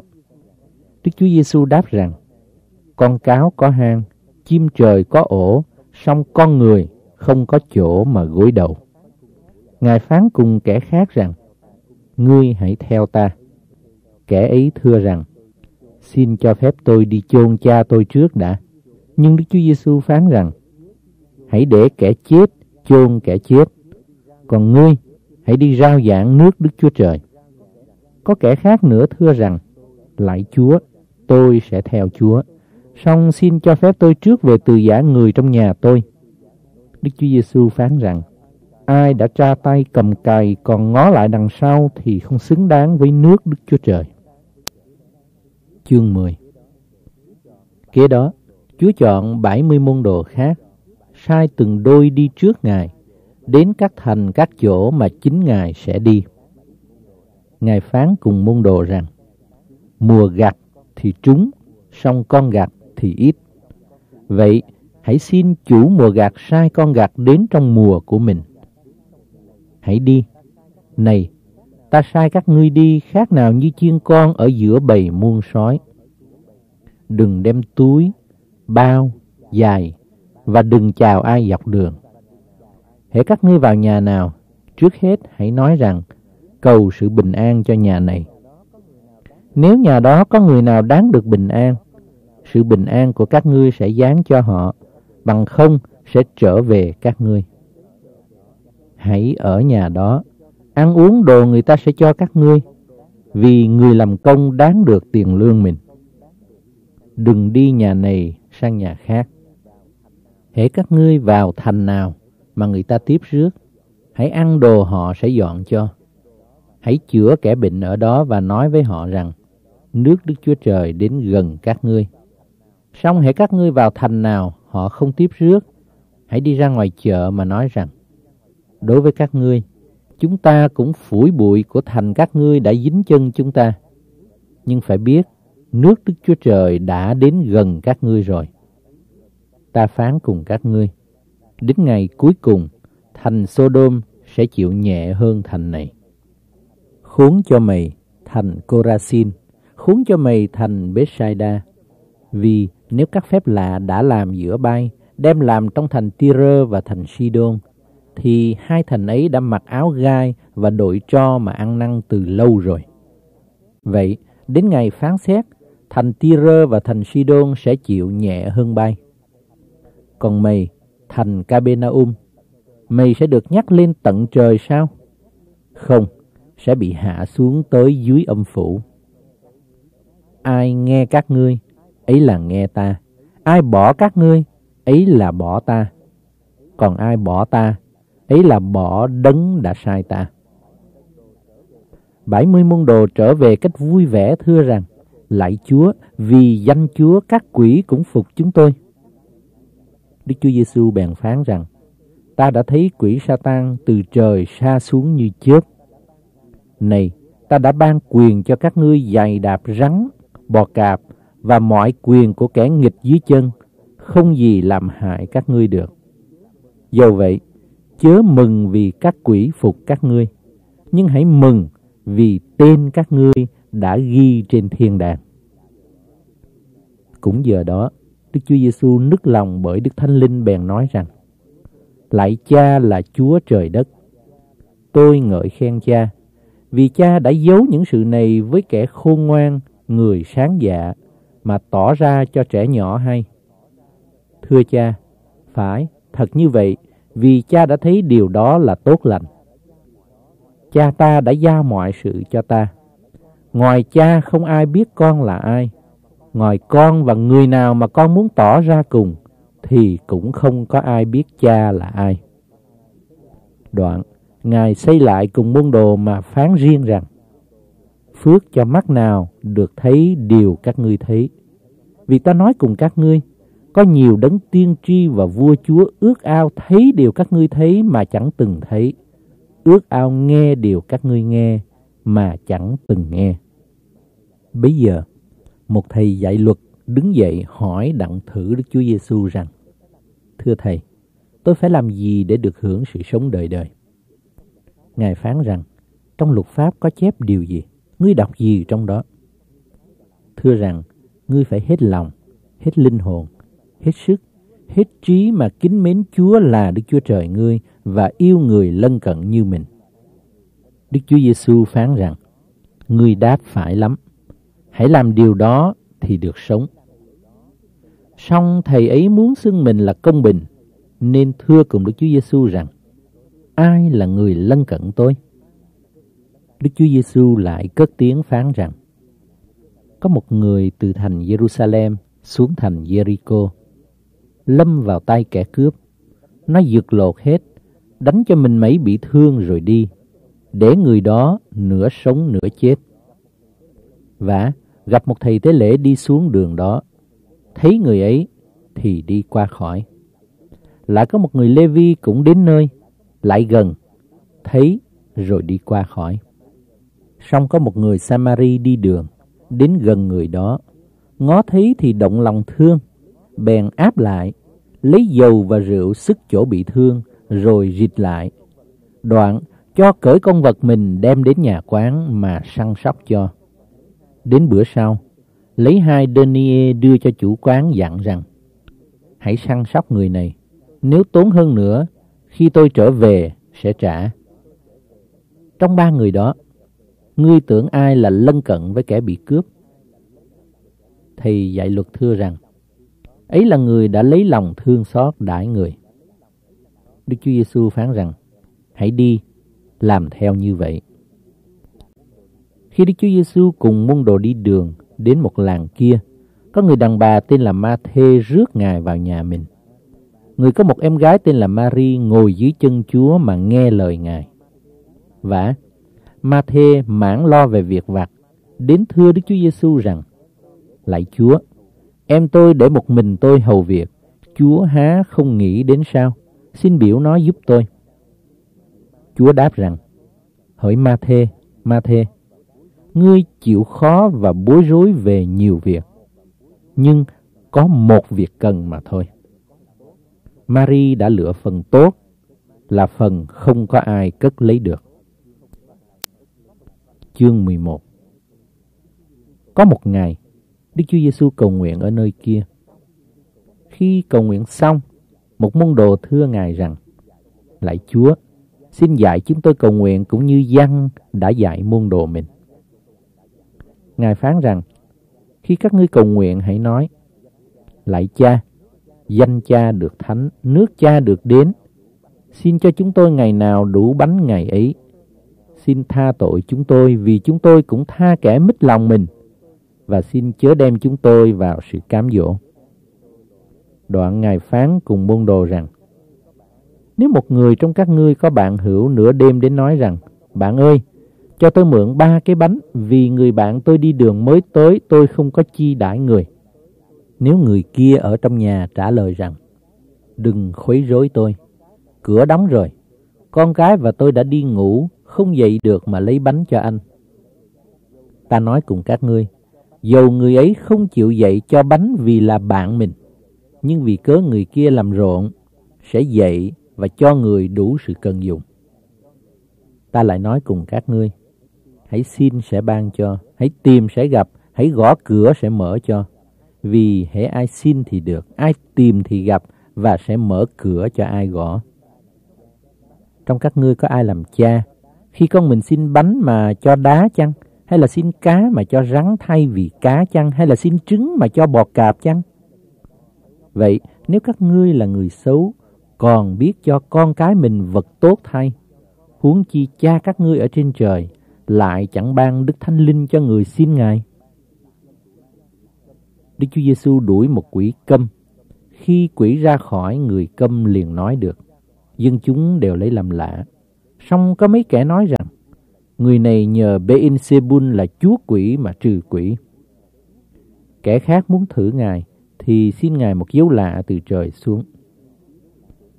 Đức Chúa Giêsu biết ý tưởng họ bèn phán rằng, nước nào tự chia rẽ nhau thì tan hoang, nhà nào tự chia rẽ nhau thì đổ xuống. Vậy, nếu quỷ sa tan tự chia rẽ nhau thì nước nó còn sao được? Vì các ngươi nói ta nhờ Bein Sebun mà trừ quỷ. Nếu ta nhờ Bein Sebun mà trừ quỷ, thì con các ngươi nhờ ai mà trừ quỷ? Bởi vậy, chính con các ngươi sẽ làm quan án các ngươi. Nhưng nếu ta cậy ngón tay Đức Chúa Trời mà trừ quỷ, thì nước Đức Chúa Trời đã đến nơi các ngươi rồi khi một người mạnh sức cầm khí giới giữ cửa nhà mình, thì của cải nó vững vàng. Nhưng có người khác mạnh hơn đến thắng được, thì cướp lấy khí giới người kia đã nhờ cậy và phân phát sạch của cải. Phàm ai không theo ta thì nghịch cùng ta, ai không thâu hiệp với ta thì tan lạc. Khi tà ma đã ra khỏi một người, thì đi dông dài các nơi khô khan để kiếm chỗ nghỉ. Kiếm không được thì nó nói rằng, ta sẽ trở về nhà ta là nơi ta mới ra khỏi. Nó trở về, thấy nhà quét sạch và dọn dẹp tử tế, bèn đi rủ bảy quỷ khác dữ hơn mình vào nhà mà ở. Vậy, số phận người này lại khốn khổ hơn phen trước. Đức Chúa Giêsu đương phán những điều ấy. Có một người đàn bà ở giữa dân chúng cất tiếng thưa rằng, Phước cho dạ đã mang Ngài, và vú đã cho Ngài bú. Đức Chúa Giêsu đáp rằng, những kẻ nghe và giữ lời Đức Chúa Trời còn có phước hơn. Khi dân chúng nhóm lại đông lắm, Đức Chúa Giêsu phán rằng, dòng dõi này là dòng dõi độc ác. Họ xin một dấu lạ, song sẽ không cho dấu lạ nào khác hơn dấu lạ của Jonah. Vì Jonah là dấu lạ cho dân thành Ninive, thì cũng một thể ấy con người sẽ là dấu lạ cho dòng dõi này. Đến ngày phán xét, nữ hoàng Nam Phương sẽ đứng dậy với người của dòng dõi này và lên án họ. Vì người từ nơi đầu cùng đất đến nghe lời khôn ngoan vua Salomon, mà này, ở đây có đấng hơn vua Salomon. Đến ngày phán xét, dân thành Ninive sẽ đứng dậy với người của dòng dõi này và lên án họ, vì dân ấy đã nghe lời Jonah giảng dạy và ăn năn. Mà này, ở đây có đấng hơn Jonah. Không ai thắp đèn mà để chỗ khuất hay là dưới thùng, nhưng để trên chân đèn, hầu cho kẻ vào được thấy sáng. Mắt là đèn của thân thể. Nếu mắt ngươi sỏi sàng, cả thân thể ngươi được sáng láng. Song nếu mắt ngươi xấu thì thân thể ngươi phải tối tăm. Ấy vậy, hãy coi chừng kẻo sự sáng trong mình ngươi hóa ra sự tối chăng. Nếu cả thân thể ngươi sáng láng, không có phần nào tối tăm thì sẽ được sáng hết thảy, cũng như khi có cái đèn soi sáng cho người vậy. Đức Chúa Giêsu đường phán, có một người Pharisee mời Ngài về nhà dùng bữa. Ngài vào ngồi bàn. Người Pharisee thấy Ngài không rửa trước bữa ăn thì lấy làm lạ. Nhưng Chúa phán rằng, Hỡi các ngươi là người Pharisee, các ngươi rửa sạch bề ngoài chén và mâm, song bề trong đầy sự trộm cướp và điều dữ. Hỡi kẻ dạ dột, đấng đã làm nên bề ngoài, há không làm nên bề trong nữa sao? Thà các ngươi lấy của mình có mà bố thí, thì mọi điều sẽ sạch cho các ngươi.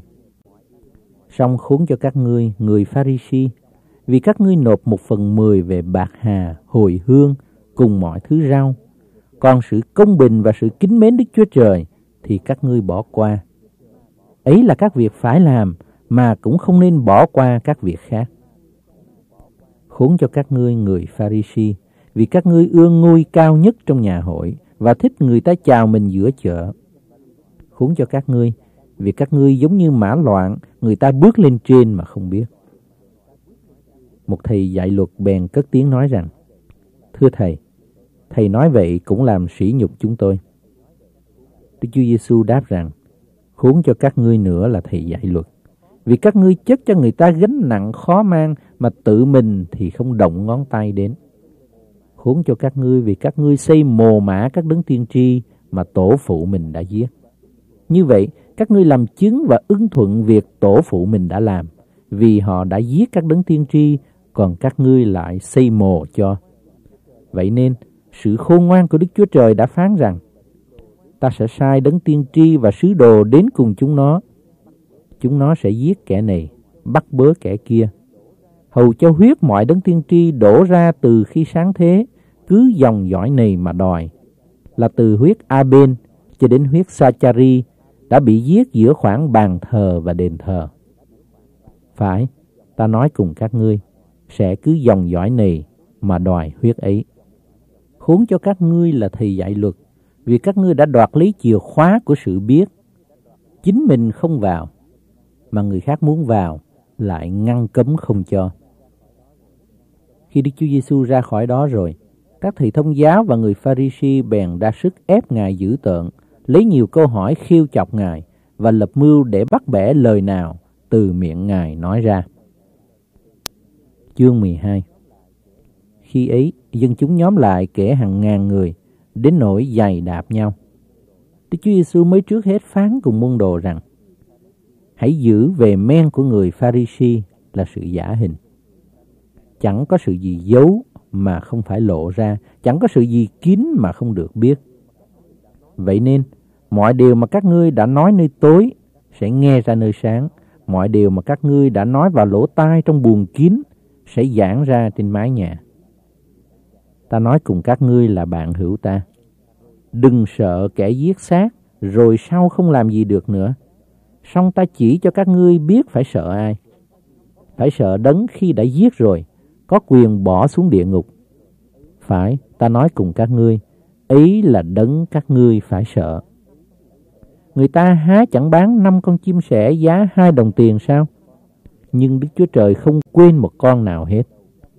Dầu đến tóc trên đầu các ngươi cũng đã đếm cả rồi. Đừng sợ chi, vì các ngươi trọng hơn nhiều chim sẻ. Ta nói cùng các ngươi, ai sẽ xưng ta trước mặt thiên hạ, thì con người cũng sẽ xưng họ trước mặt thiên sứ của Đức Chúa Trời.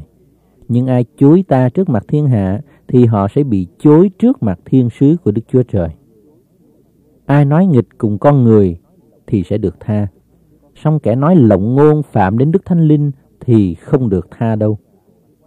Khi người ta đem các ngươi đến nhà hội trước mặt quan án và quan cai trị thì chớ lo về nói cách nào để binh vực mình hoặc nói lời gì. Bởi vì chính giờ đó Đức Thánh Linh sẽ dạy các ngươi những lời phải nói.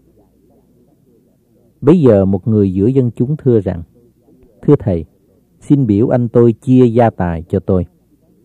Nhưng Đức Chúa Giêsu đáp rằng, Hỡi người kia, ai đặt ta làm quan xử kiện hay là chia của cho các ngươi? Đoạn, Ngài phán cùng chúng rằng, Hãy giữ cẩn thận, chớ hà tiện gì hết, vì sự sống của người ta không phải cốt tại của cải mình dư dật đâu. Ngài lại phán cùng chúng lời ví dụ này. Ruộng có một người giàu kia sinh lợi nhiều lắm. Người bèn tự nghĩ rằng, ta phải làm thế nào vì không có đủ chỗ chứa hết sản vật. Lại nói, này, việc ta sẽ làm.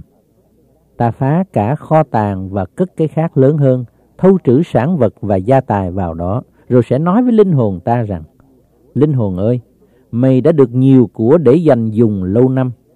Thôi, hãy nghỉ, ăn uống và vui vẻ. Xong Đức Chúa Trời phán cùng người rằng, Hỡi kẻ dại, chính đêm nay linh hồn ngươi sẽ bị đòi lại. Vậy những của cải ngươi đã sắm sẵn sẽ thuộc về ai? Hễ ai thâu trữ của cho mình mà không giàu có nơi Đức Chúa Trời thì cũng như vậy. Đức Chúa Giêsu bèn phán cùng môn đồ rằng: ấy vậy, ta nói cùng các ngươi, đừng vì sự sống mà lo đồ mình ăn, cũng đừng vì thân thể mà lo đồ mình mặc. Sự sống trọng hơn đồ ăn, thân thể trọng hơn đồ mặc. Hãy xem con quạ, nó không gieo, không gặt, cũng không có hầm vựa kho tàng chi, mà đức chúa trời còn nuôi nó, huống chi các ngươi quý hơn chim chóc là giường nào. Có ai trong các ngươi lo lắng mà làm cho đời mình dài thêm một khắc không? Vậy, nếu đến việc rất nhỏ, các ngươi cũng không có thể được. Sao các ngươi lo việc khác? Hãy xem hoa huệ mọc lên thế nào. Nó chẳng làm khó nhọc, cũng không kéo chỉ.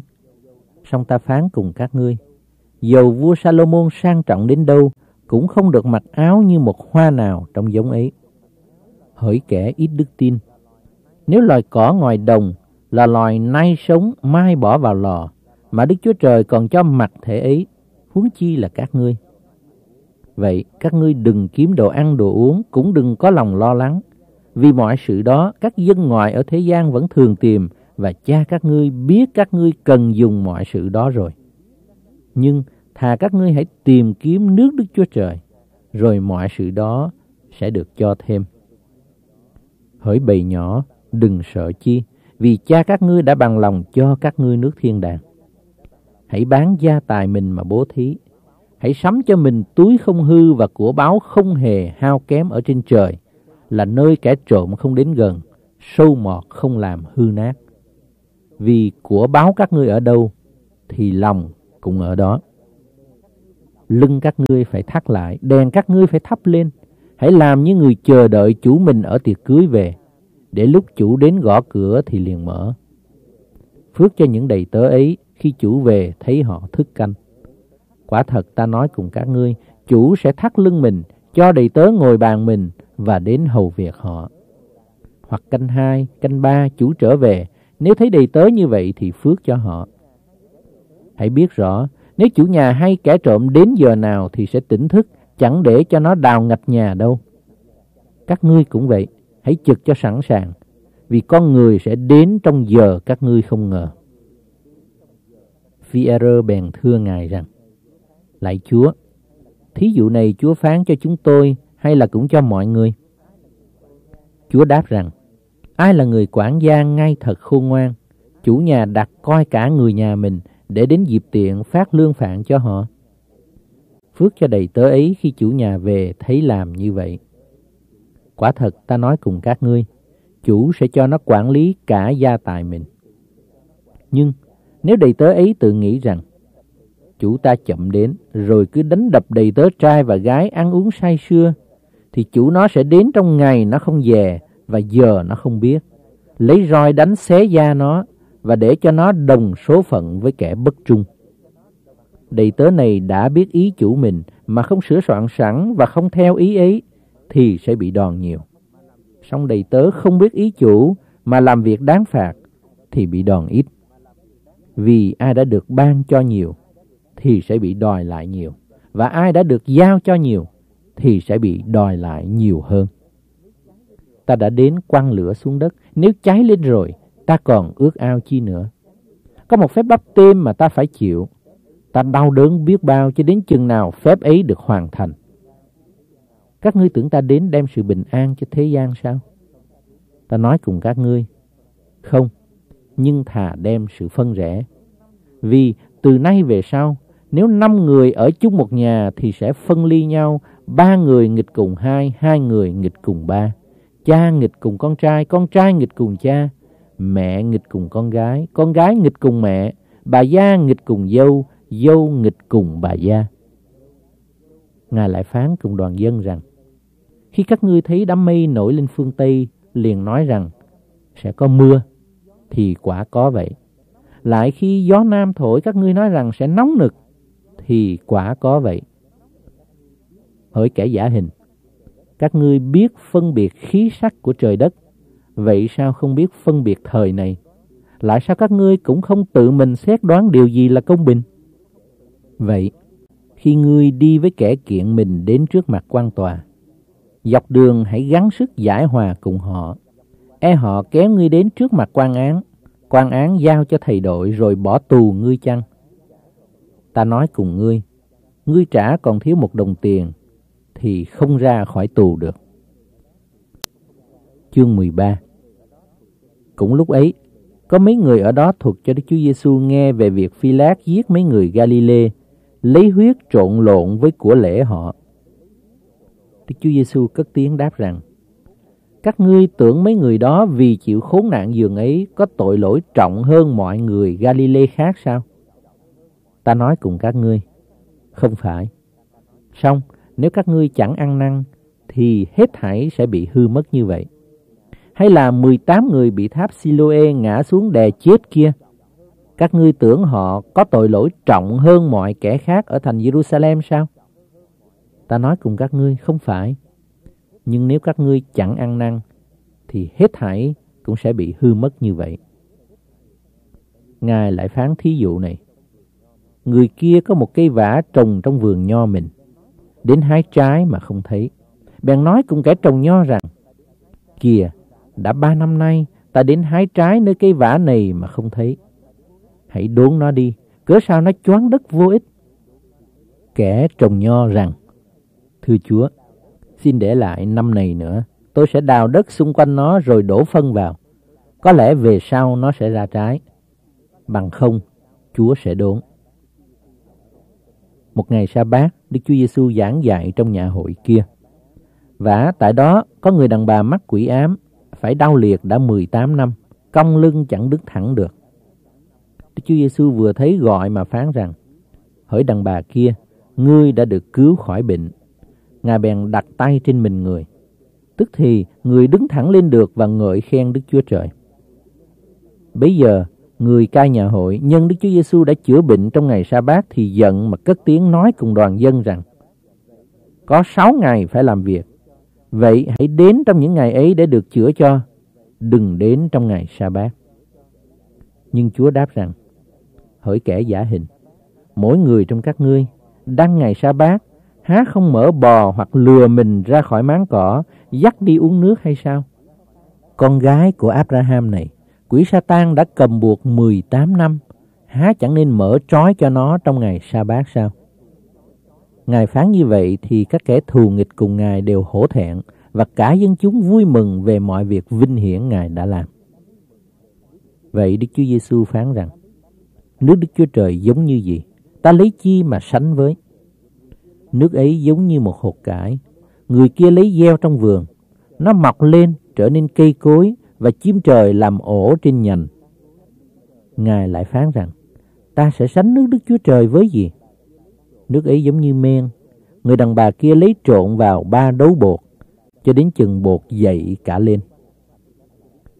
Đức Chúa Giêsu trải qua các thành, các làng, vừa dạy dỗ vừa đi thẳng tới thành Jerusalem. Có người thưa Ngài rằng, Lạy Chúa, có phải chỉ ít kẻ được cứu chăng? Ngài đáp rằng, hãy gắng sức vào cửa hẹp, vì ta nói cùng các ngươi, nhiều người sẽ tìm cách vào mà không vào được. Khi chủ nhà chờ dậy, đóng cửa lại rồi, các ngươi ở ngoài gõ cửa kêu rằng, lại Chúa xin mở cho chúng tôi. Chủ sẽ trả lời rằng, ta không biết các ngươi đến từ đâu. Bây giờ các ngươi sẽ thưa rằng, chúng tôi đã ăn uống trước mặt Chúa và Chúa đã dạy dỗ trong các chợ chúng tôi. Chủ lại sẽ trả lời rằng, ta nói cùng các ngươi, không biết các ngươi đến từ đâu. Hết thảy những kẻ làm dữ kia, hãy lui ra khỏi ta. Khi ấy, các ngươi thấy Abraham, Isaac và Jacob cùng hết thảy các đấng tiên tri đều ở trong nước Đức Chúa Trời. Còn các ngươi sẽ bị quăng ra ngoài, là nơi có khóc lóc và nghiến răng. Lại từ Đông Tây Nam Bắc, người ta sẽ đến mà ngồi bàn ở trong nước Đức Chúa Trời. Này, khi ấy, có kẻ rốt sẽ nên đầu, kẻ đầu sẽ là rốt.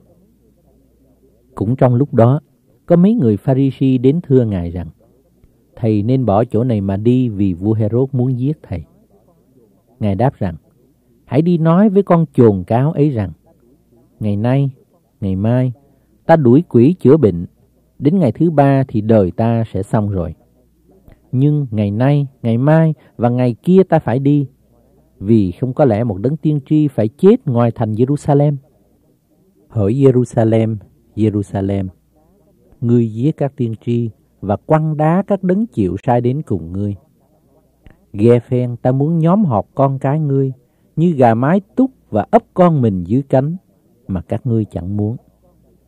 Này, nhà các ngươi sẽ bỏ hoang. Ta nói cùng các ngươi, các ngươi không còn thấy ta nữa, cho đến chừng nào sẽ nói rằng, phước cho đấng nhân danh Chúa mà đến. Chương 14 Một ngày sa bát, Đức Chúa Giêsu vào nhà một người kẻ cả dòng Pha-ri-si để dùng bữa. Những người ở đó dòm hành Ngài. Số là có một người mắc bệnh thủy thủng ở trước mặt Ngài. Đức Chúa Giêsu cất tiếng hỏi thầy dạy luật và người Pharisee rằng: Trong ngày sa bát có nên chữa bệnh hay không? Họ đều làm thinh. Ngài bèn đem người bệnh chữa lành rồi cho về. Đoạn Ngài phán cùng họ rằng: Nào có ai trong các ngươi đương ngày sa bát nếu có con trai hay là bò mình té xuống giếng mà không kéo liền lên sao họ không đối đáp gì về điều đó được ngài thấy những kẻ được mời đều lựa chỗ ngồi trên nên phán cùng họ thí dụ này khi người ta mời ngươi dự tiệc cưới chớ ngồi chỗ cao nhất vì e rằng trong những khách mời có ai tôn trọng hơn ngươi người đứng mời sẽ đến nói cùng ngươi rằng hãy nhường chỗ cho người này ngồi. Mà ngươi xấu hổ vì phải xuống chỗ chót chăng? Nhưng khi ngươi được mời, hãy ngồi chỗ chót. Người đứng mời sẽ đến nói cùng ngươi rằng, hỡi bạn, xin ngồi lên cao hơn. Vậy thì điều đó sẽ làm cho ngươi được kính trọng trước mặt những người đồng bàn với mình. Bởi vì ai tự nhắc mình lên sẽ phải hạ xuống, còn ai tự hạ mình xuống sẽ được nhắc lên. Ngài cũng phán với người mời Ngài rằng, khi ngươi đãi bữa trưa hoặc bữa tối, đừng mời bạn hữu, anh em, bà con và láng giềng giàu, e rằng họ cũng mời lại mà trả cho ngươi chăng. Xong khi ngươi đãi tiệc, hãy mời những kẻ nghèo khó, tàn tật, què, đuôi, thì ngươi sẽ được phước, vì họ không có thể trả lại cho ngươi. Đến kỳ kẻ công bình sống lại, ngươi sẽ được trả. Một người đồng tiệc nghe lời đó thì thưa Ngài rằng, phước cho kẻ sẽ được ăn bánh trong nước Đức Chúa Trời. Nhưng Đức Chúa Giêsu đáp rằng, có người kia dọn tiệc lớn mời nhiều người ăn. Khi đến giờ ăn, sai đầy tớ mình đi nói với những kẻ được mời rằng, hãy đến, mọi sự đã sẵn rồi. Xong họ đồng tình, xin cứu hết. Người thứ nhất nói rằng, tôi có mua một đám ruộng cần phải đi coi, xin cho tôi cứu. Kẻ khác rằng, tôi có mua năm cặp bò, phải đi xem thử, xin cho tôi cứu. Kẻ khác nữa rằng, tôi mới cưới vợ, vậy tôi đi không được. Đầy tớ trở về, trình việc đó cho chủ mình. Chủ bèn nổi giận biểu đầy tớ rằng, hãy đi mau ra ngoài chợ và các đường phố, đem những kẻ nghèo khó, tàn tật, đuôi, què vào đây. Sau lại đầy tớ trình rằng, thưa chủ, điều chủ dạy đã làm rồi mà hãy còn thừa chỗ. Chủ nhà lại biểu rằng, hãy ra ngoài đường và dọc hàng rào, gặp ai thì ép mời vào, cho được đầy nhà ta. Vì ta nói cùng các ngươi, trong những kẻ đã mời trước, không có ai được nếm bữa tiệc của ta đâu. Có đoàn dân đông cùng đi với Đức Chúa Giêsu, Ngài xây lại cùng họ mà phán rằng: Nếu có ai đến theo ta mà không ghét cha mẹ, vợ con, anh em, chị em mình và chính sự sống mình nữa thì không được làm môn đồ ta. Còn ai không vác thập tự giá mình mà theo ta cũng không được làm môn đồ ta. Và trong các ngươi, có ai là người muốn xây một cái tháp mà trước không ngồi tính phí tổn cho biết mình có đủ của đặng làm xong việc cùng chăng sao? E khi đã xây nền rồi, không làm xong được thì mọi người thấy liền chê cười và rằng người này khởi công xây mà không thể làm xong được. Hay là có vua nào đi đánh trận cùng vua khác mà trước không ngồi bàn luận xem mình đem đi một muôn lính có thể địch nổi vua kia đem hai muôn cùng chăng sao? Bằng chẳng nổi, khi vua kia còn ở xa, sai sứ đi xin hòa. Như vậy, nếu ai trong các ngươi không bỏ mọi sự mình có, thì không được làm môn đồ ta. Muối là giống tốt, nhưng nếu muối mất mặn thì lấy chi làm cho nó mặn lại được. Không dùng chi được cho ruộng hoặc cho phân, người ta phải bỏ nó ra ngoài. Ai có tai mà nghe, hãy nghe. Chương 15 Hết thảy các người thâu thuế và người có tội đến gần Đức Chúa Giêsu đặng nghe Ngài giảng. Các người Pharisee và các thầy thông giáo lầm bầm mà nói rằng người này tiếp những kẻ tội lỗi và cùng ăn với họ. Ngài bèn phán cho họ lời thí dụ này. Trong các ngươi, ai là người có một trăm con chiên? Nếu mất một con, mà không để 99 con nơi đồng vắng đặng đi tìm con đã mất cho kỳ được sao? Khi đã kiếm được, thì vui mừng vác nó lên vai. Đoạn về đến nhà, kêu bạn hữu và kẻ lân cận mà rằng, hãy chung vui với ta, vì ta đã tìm được con chiên bị mất. Ta nói cùng các ngươi, trên trời cũng như vậy, sẽ vui mừng cho một kẻ có tội ăn năn hơn là 99 kẻ công bình, không cần phải ăn năn. Hay là có người đàn bà nào có 10 đồng bạc, mất một đồng mà không thắp đèn, quét nhà, kiếm kỹ càng cho kỳ được sao? Khi tìm được rồi, gọi bầu bạn và người lân cận mình mà rằng, hãy chung vui với ta, vì ta đã tìm được đồng bạc bị mất. Ta nói cùng các ngươi, trước mặt thiên sứ của Đức Chúa Trời cũng như vậy, sẽ mừng rỡ cho một kẻ có tội ăn năn. Ngài lại phán rằng, một người kia có hai con trai. Người em nói với cha rằng, Thưa cha, xin chia cho tôi phần của mà tôi sẽ được. người cha liền chia của mình cho hai con.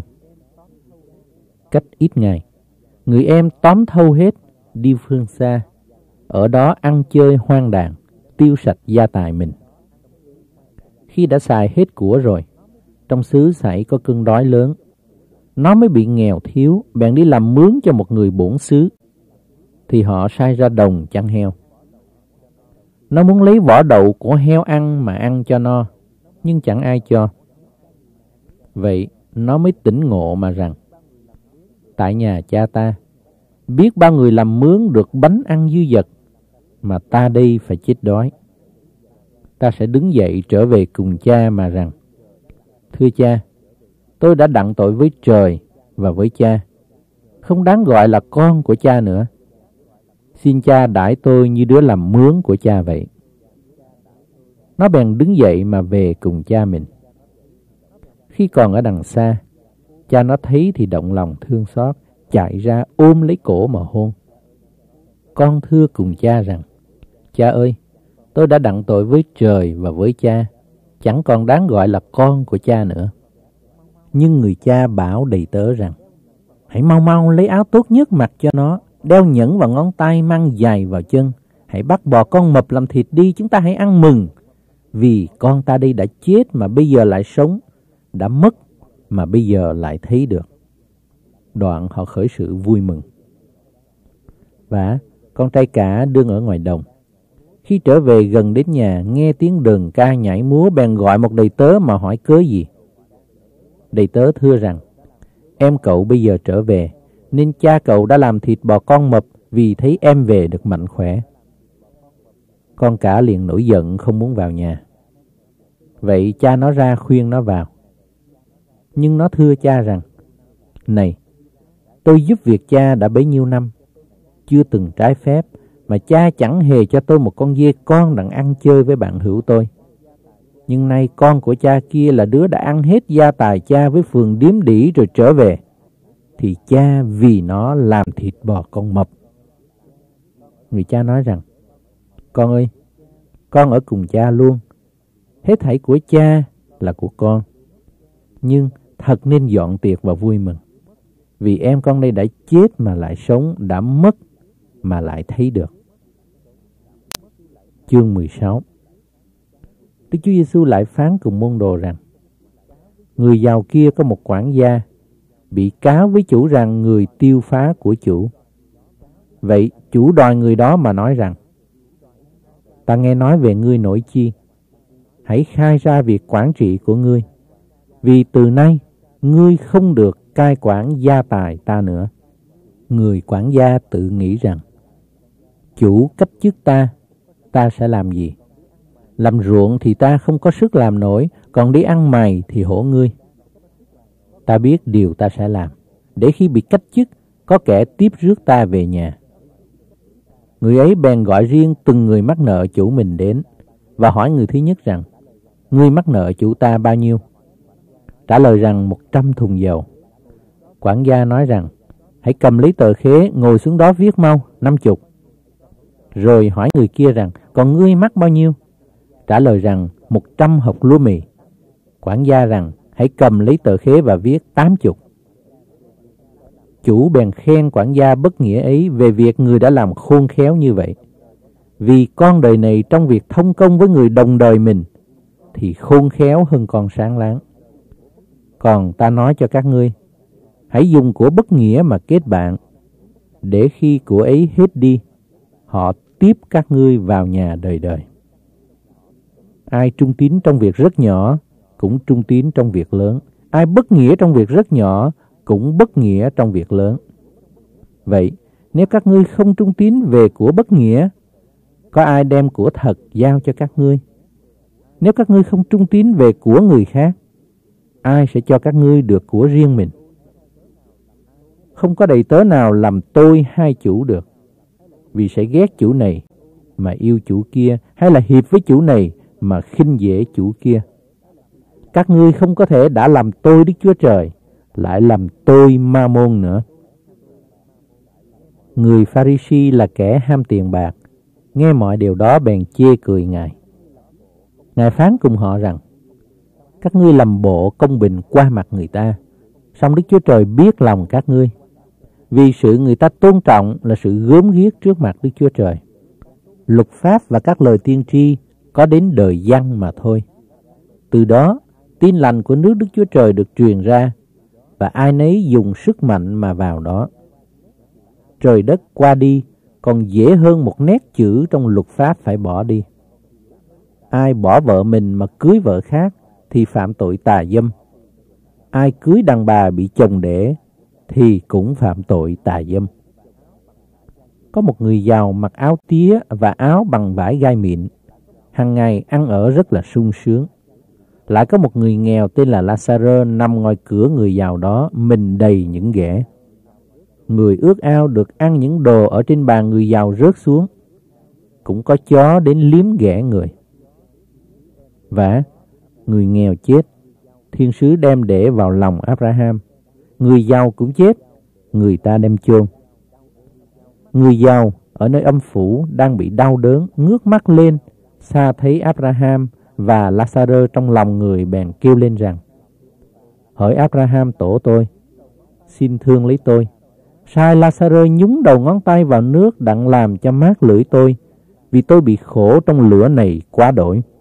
Nhưng Abraham trả lời rằng, Con ơi, hãy nhớ lại lúc ngươi còn sống đã được hưởng những sự lành của mình rồi. Còn Lazarơ phải những sự dữ. Bây giờ nó ở đây được yên ủi, còn ngươi phải bị khổ hình vả lại, có một vực sâu ở giữa chúng ta với ngươi. Đến nỗi ai muốn từ đây qua đó không được, mà ai muốn từ đó qua đây cũng không được. Người giàu nói rằng, tổ tôi ơi, vậy thì xin sai lazaro đến nhà cha tôi, vì tôi có năm anh em. Đặng người làm chứng cho họ về những điều này, kẻo họ cũng xuống nơi đau đớn này chăng? Abraham trả lời rằng, chúng nó đã có môi xe và các đấng tiên tri, chúng nó phải nghe lời các đấng ấy. Người giàu nói rằng, Thưa Abraham tổ tôi, không phải vậy đâu. Nhưng nếu có kẻ chết sống lại đến cùng họ, thì họ sẽ ăn năn. Xong Abraham rằng, nếu không nghe môi xe và các đấng tiên tri, thì dầu có ai từ kẻ chết sống lại, chúng nó cũng chẳng tin vậy. Chương 17 Đức Chúa Giêsu lại phán cùng môn đồ rằng không thể khỏi xảy đến sự gây nên phạm tội được. Song khốn thay cho ai là kẻ làm ra sự ấy. Nếu ai gây cho chỉ một kẻ nhỏ này phạm tội, thì thà rằng buộc cối đá vào cổ nó mà quăng xuống biển còn hơn. Các ngươi hãy giữ lấy mình. Nếu anh em ngươi đã phạm tội, hãy quở trách họ, và nếu họ ăn năn thì hãy tha thứ. Dầu trong một ngày họ phạm tội cùng ngươi bảy lần và bảy lần trở lại cùng ngươi mà nói rằng tôi ăn năn thì hãy tha tội cho họ. Các sứ đồ thưa Chúa rằng xin thêm đức tin cho chúng tôi. Chúa đáp rằng nếu các ngươi có đức tin trọng bằng hột cải, các ngươi khiến cây dâu này rằng hãy nhổ đi mà trồng dưới biển, thì nó sẽ vâng lời. Ai trong các ngươi có đầy tớ đi cài hoặc đi chăn, khi ở ngoài đồng về biểu nó rằng hãy đến ngay mà ngồi ăn hay sao? Trái lại, há không biểu nó rằng hãy dọn cho ta ăn, thắt lưng hầu ta, cho đến chừng nào ta ăn uống xong, rồi sau ngươi sẽ ăn uống sao? Đầy tớ vâng lệnh mà làm, thì chủ có biết ơn gì nó chăng? Các ngươi cũng vậy, khi làm xong việc truyền phải làm thì hãy nói rằng chúng tôi là đầy tớ vô ích. Điều chúng tôi đã làm là điều chắc phải làm. Đức Chúa Giêsu đương lên thành Jerusalem, trải qua bờ cõi xứ Samari và Galilee. Nhằm khi vào làng kia, có mười người phun đến đón rước Ngài, đứng đằng xa lên tiếng rằng, Lại Giêsu, lại Thầy, xin thương xót chúng tôi cùng. Khi Ngài thấy họ liền phán rằng, Hãy đi, tỏ mình cùng thầy tế lễ. Họ đương đi thì phun lành hết thảy. Có một người trong bọn họ thấy mình đã được sạch, bèn trở lại, lớn tiếng khen ngợi Đức Chúa Trời, lại đến sấp mặt xuống đất nơi chân Đức Chúa Giêsu mà tạ ơn Ngài. Và người đó là người Samari. Đức Chúa Giêsu bèn cất tiếng phán rằng: Không phải mười người đều được sạch cả sao? Còn chín người kia ở đâu? Chỉ có người ngoại quốc này trở lại ngợi khen Đức Chúa Trời ư? Ngài lại phán rằng: Đứng dậy, đi, đức tin ngươi đã cứu ngươi. Người Pharisee hỏi Đức Chúa Giêsu nước Đức Chúa Trời chừng nào đến thì Ngài đáp rằng nước Đức Chúa Trời không đến cách rõ ràng và người ta sẽ không nói ở đây hay là ở đó vì này nước Đức Chúa Trời ở trong các người. Ngài lại phán cùng môn đồ rằng sẽ có kỳ các ngươi ước ao thấy chỉ một ngày của con người mà không thấy được. Người ta sẽ nói cùng các ngươi rằng Ngài ở đây hay là Ngài ở đó nhưng đừng đi, đừng theo họ. Vì như chớp nhán lòe từ dưới phương trời này đến dưới phương trời kia, thì có người trong ngày Ngài cũng như vậy. Nhưng Ngài trước phải chịu đau đớn nhiều và bị dòng dõi này bỏ ra. Việc đã xảy đến trong đời Noe thì cũng sẽ xảy đến trong ngày con người. Người ta ăn, uống, cưới gả cho đến ngày Noe vào tàu và nước luộc đến hủy diệt thiên hạ hết. Việc đã xảy ra trong đời Lót cũng vậy. Người ta ăn uống, mua bán, trồng tỉa, cất dựng. Đến ngày Lót ra khỏi thành Sodom, thì trời mưa lửa và diêm sinh giết hết dân thành ấy. Ngày con người hiện ra cũng một thể này. Trong ngày đó, ai ở trên mái nhà, có của để trong nhà đừng xuống mà chuyên đi. Ai ở ngoài đồng cũng đừng trở về nữa. Hãy nhớ lại vợ của lo.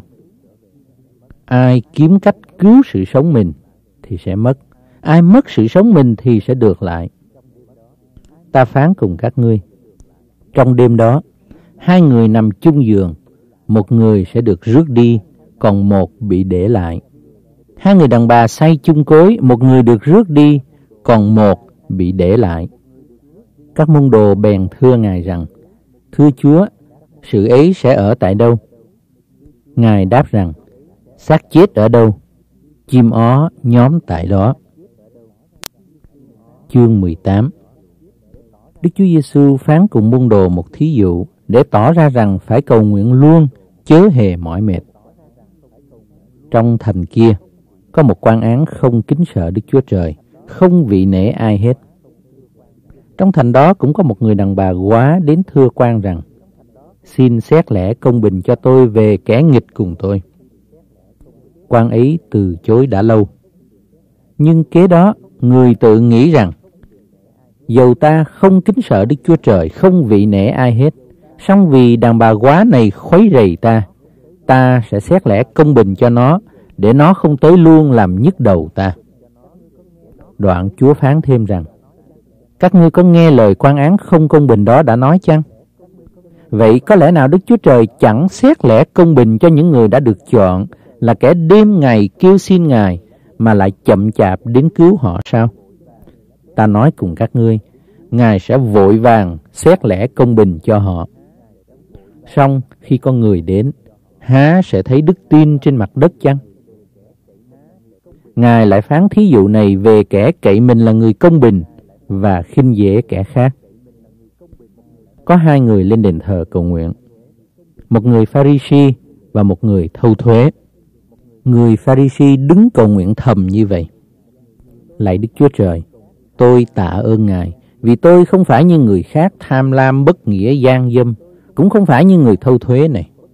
Tôi kiên ăn một tuần lễ hai lần và nộp một phần mười về mọi món lợi của tôi. Người thâu thuế đứng xa xa, không dám ngước mắt lên trời đấm ngực mà rằng Lạy Đức Chúa Trời, xin thương xót lấy tôi, vì tôi là kẻ có tội. Ta nói cùng các ngươi, người này trở về nhà mình được xưng công bình hơn người kia. Vì ai tự nhắc mình lên sẽ phải hạ xuống, ai tự hạ mình xuống sẽ được nhắc lên. Người ta cũng đem con trẻ đến cùng Đức Chúa Giêsu cho được Ngài rờ đến chúng nó. Môn đồ thấy vậy trách những người đem đến. Nhưng Đức Chúa Giêsu gọi họ mà phán rằng: Hãy để con trẻ đến cùng ta, đừng ngăn cấm, vì nước thiên đàng thuộc về những người giống như con trẻ ấy. Quả thật ta nói cùng các ngươi, ai không nhận lãnh nước Đức Chúa Trời như một đứa trẻ thì sẽ không được vào đó. Bây giờ có một quan hỏi Đức Chúa Giêsu rằng: Thưa thầy nhân lành, tôi phải làm gì cho được hưởng sự sống đời đời? Đức Chúa Giêsu phán rằng: Sao ngươi gọi ta là nhân lành? Chỉ có một đấng nhân lành là Đức Chúa Trời. Ngươi đã biết các điều răn này. Ngươi chớ phạm tội tà dâm, chớ giết người, chớ trộm cướp, chớ nói chứng dối, hãy hiếu kính cha mẹ. Người ấy thưa rằng, tôi đã giữ các điều ấy từ thuở nhỏ. Đức Chúa Giêsu nghe vậy bèn phán rằng, còn thiếu cho ngươi một điều. Hãy bán hết gia tài mình, phân phát cho kẻ nghèo, thì ngươi sẽ có của cải ở trên trời. Bây giờ, hãy đến mà theo ta. Nhưng người ấy nghe mấy lời thì trở nên buồn rầu vì giàu có lắm. Đức Chúa Giêsu thấy người buồn rầu bèn phán rằng: Kẻ giàu vào nước Đức Chúa Trời là khó biết giường nào. Lạc đà chui qua lỗ kim còn dễ hơn người giàu vào nước Đức Chúa Trời. Những người nghe điều đó nói rằng, vậy thì ai được cứu?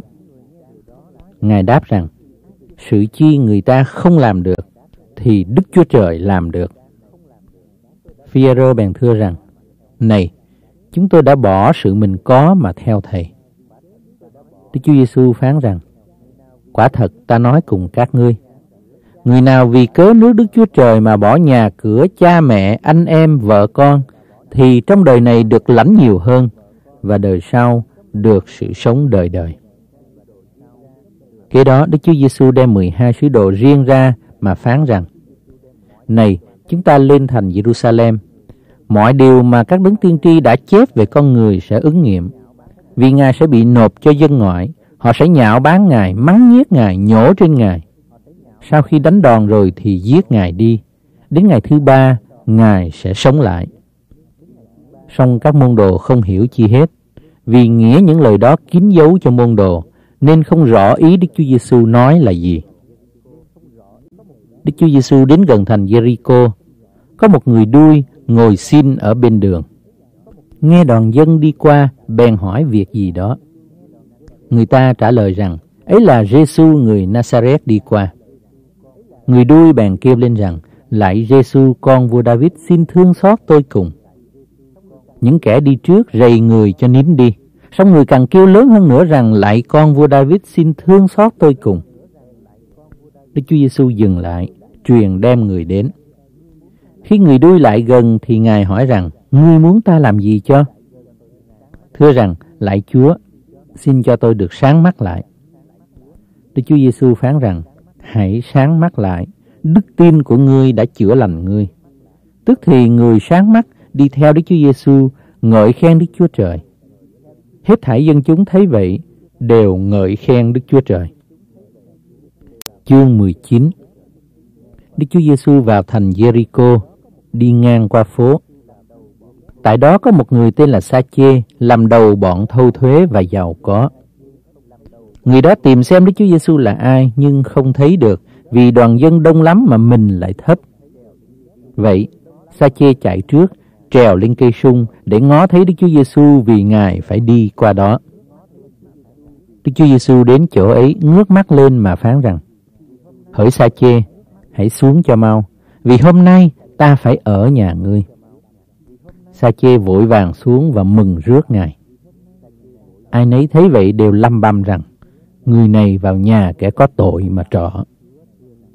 Xong Sa Chê đứng trước mặt Chúa thưa rằng, Lạy Chúa, này, tôi lấy nửa gia tài mình mà cho kẻ nghèo, và nếu có làm thiệt hại ai, bất kỳ việc gì, tôi sẽ đền gấp tư.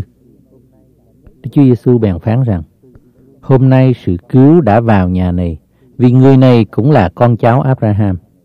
Bởi con người đã đến, tìm và cứu kẻ bị mất. Họ nghe những lời ấy, thì Đức Chúa Giêsu thêm một thí dụ nữa. Vì Ngài gần đến thành Jerusalem và người ta tưởng rằng nước Đức Chúa Trời sẽ hiện ra ngay. Vậy Ngài phán rằng, có một vị thế tử đi phương xa đặng chịu phong chức làm vua rồi trở về. Bèn gọi 10 người trong đám đầy tớ mình, giao cho 10 nén bạc và dạy rằng, hãy dùng bạc này sanh lợi cho đến khi ta trở về. Song dân xứ ấy ghét người thì sai sứ theo đặng nói rằng chúng tôi không muốn người này cai trị chúng tôi. Khi người đã chịu phong chức làm vua rồi, trở về, đòi các đầy tớ đã lãnh bạc đến đặng cho biết mỗi người làm lợi được bao nhiêu. Đầy tớ thứ nhất đến trình rằng, lại Chúa, nén bạc của Chúa sanh lợi ra được 10 nén. Chủ rằng hỡi đầy tớ ngay lành kia được lắm vì ngươi trung tín trong sự nhỏ mọn, ngươi sẽ được cai trị 10 thành. Người thứ hai đến thưa rằng lại Chúa, nén bạc của Chúa sanh lợi ra được 5 nén. Chủ rằng ngươi được cai trị năm thành. Người khác đến thưa rằng, lại Chúa, đây này, nén bạc của Chúa tôi đã gói giữ trong khăn bởi tôi sợ Chúa vì Chúa là người nghiêm nhặt hay lấy trong nơi không để gặt trong chỗ không gieo. Chủ rằng, hỡi đầy tớ ngoan ác kia, ta cứ lời ngươi nói ra mà xét ngươi. Ngươi đã biết ta là người nghiêm nhặt hay lấy trong nơi không để gặt trong chỗ không gieo. Cớ sao ngươi không giao bạc ta cho hàng bạc? Khi ta về, sẽ lấy lại vốn và lời. Chủ lại nói cùng các người đứng đó rằng, hãy lấy nén bạc nó đi, cho người có 10 nén. Họ bèn thưa rằng, lạy Chúa, người ấy có 10 nén rồi.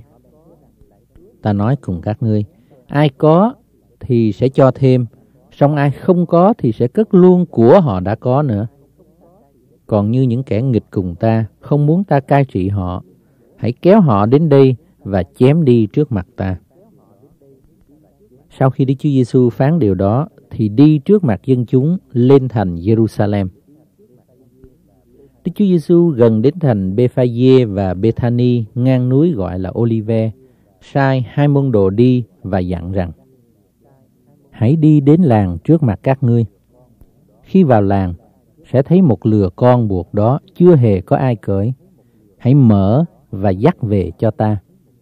Hoặc có ai hỏi sao các ngươi mở nó ra, hãy trả lời rằng, Chúa cần dùng lừa này. Hai người được sai ra đi, quả gặp mọi điều y như Đức Chúa Giêsu đã phán. Đang mở lừa con, các chủ lừa hỏi rằng, sao mở lừa con này ra? Hai người trả lời rằng, Chúa cần dùng nó. Hai người bèn dắt lừa về cho Đức Chúa Giêsu, lấy áo mình trải trên con lừa, nâng ngài lên cởi. Khi Đức Chúa Giêsu đang đi tới, có nhiều kẻ trải áo trên đường. Lúc đến gần dốc núi Olive, cả đám môn đồ lấy làm mừng rỡ và cả tiếng ngợi khen Đức Chúa Trời về những phép lạ mình đã thấy mà nói rằng đáng ngợi khen vua nhân danh Chúa mà đến, bình an ở trên trời và vinh hiển trên các nơi rất cao. Bây giờ có mấy người Pharisee ở trong đám dân đông nói cùng Ngài. Thưa Thầy, xin quở trách môn đồ Thầy. Ngài đáp rằng, ta phán cùng các ngươi, nếu họ nín lặng, thì đá sẽ kêu lên. Khi Đức Chúa Giêsu gần đến thành, thấy thì khóc về thành và phán rằng, Ước gì, ít nữa là ngày nay, mày đã hiểu biết sự làm cho mày được bình an. Song hiện nay, những sự ấy kín dấu nơi mắt mày. Vì sẽ có ngày xảy đến cho mày. Khi quân nghịch đào hố xung quanh mày, vây mày chặt bốn bề. Họ sẽ hủy hết thải mày và con cái ở giữa mày nữa. Không để cho mày hòn đá này trên hòn đá kia, vì mày không biết lúc mình đã được thăm viếng. Đức Chúa Giêsu vào đền thờ rồi bèn đuổi những kẻ bán ở đó ra mà phán rằng: Có lời chép rằng, nhà ta sẽ là nhà cầu nguyện, song các ngươi làm thành ra một cái hang trộm cướp.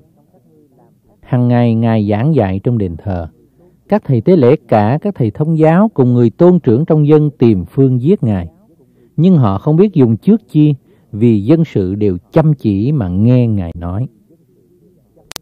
Chương 20 Một ngày trong những ngày đó, Đức Chúa Giêsu đương dạy dỗ dân chúng trong đền thờ và rao truyền tin lành.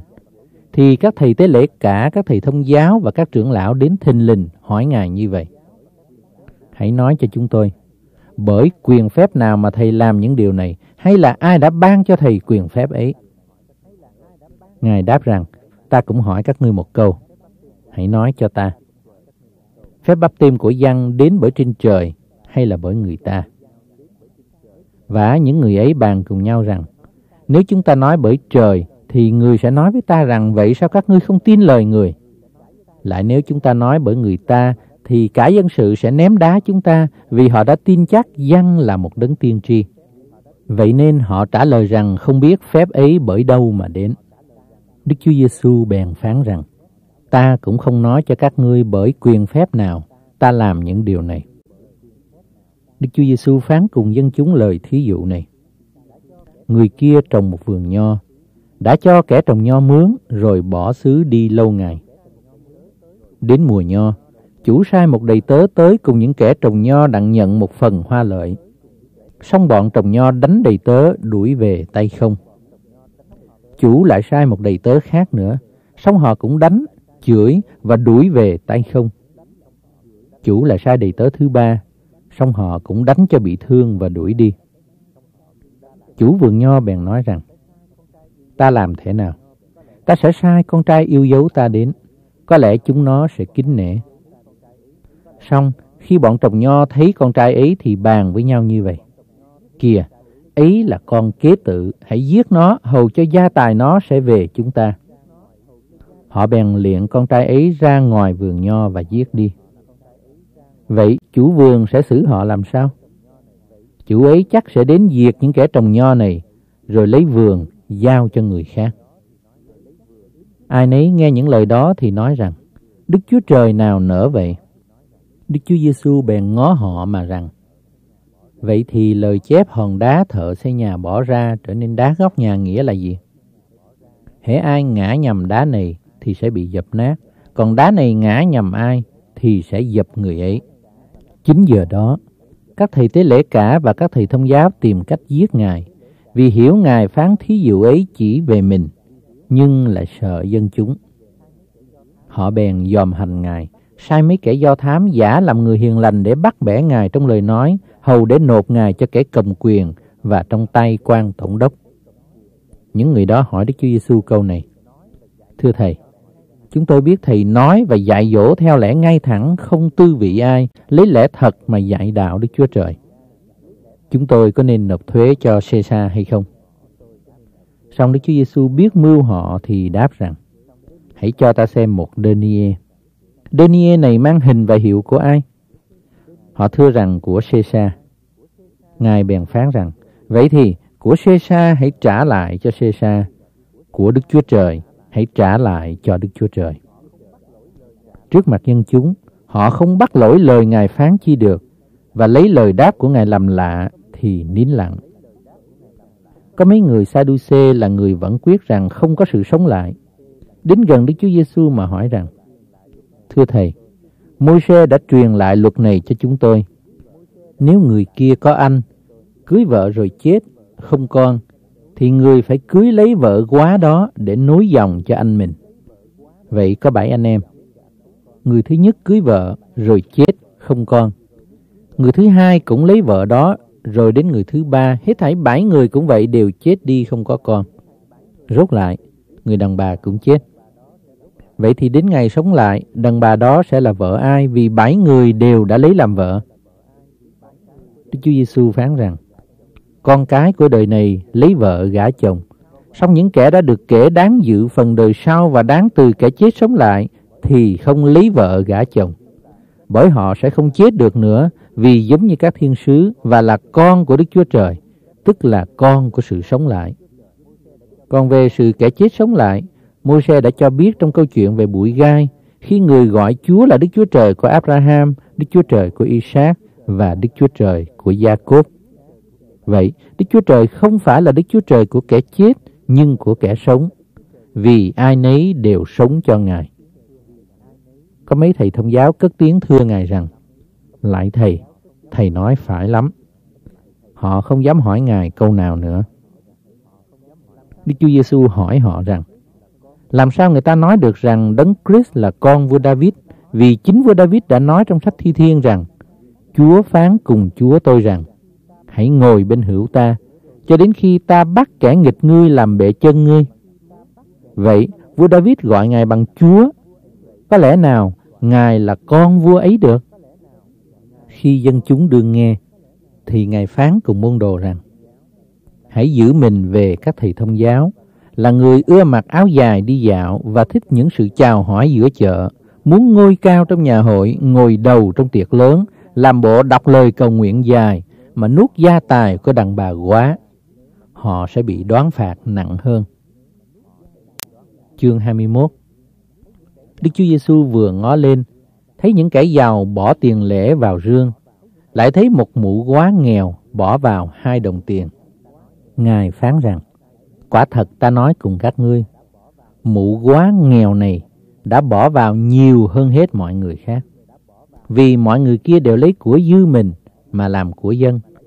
Nhưng mụ này thiếu thốn mà đã dâng hết của mình có để nuôi mình. Có mấy người nói về đền thờ, về đá đẹp và đồ dân làm rực rỡ trong đền thờ.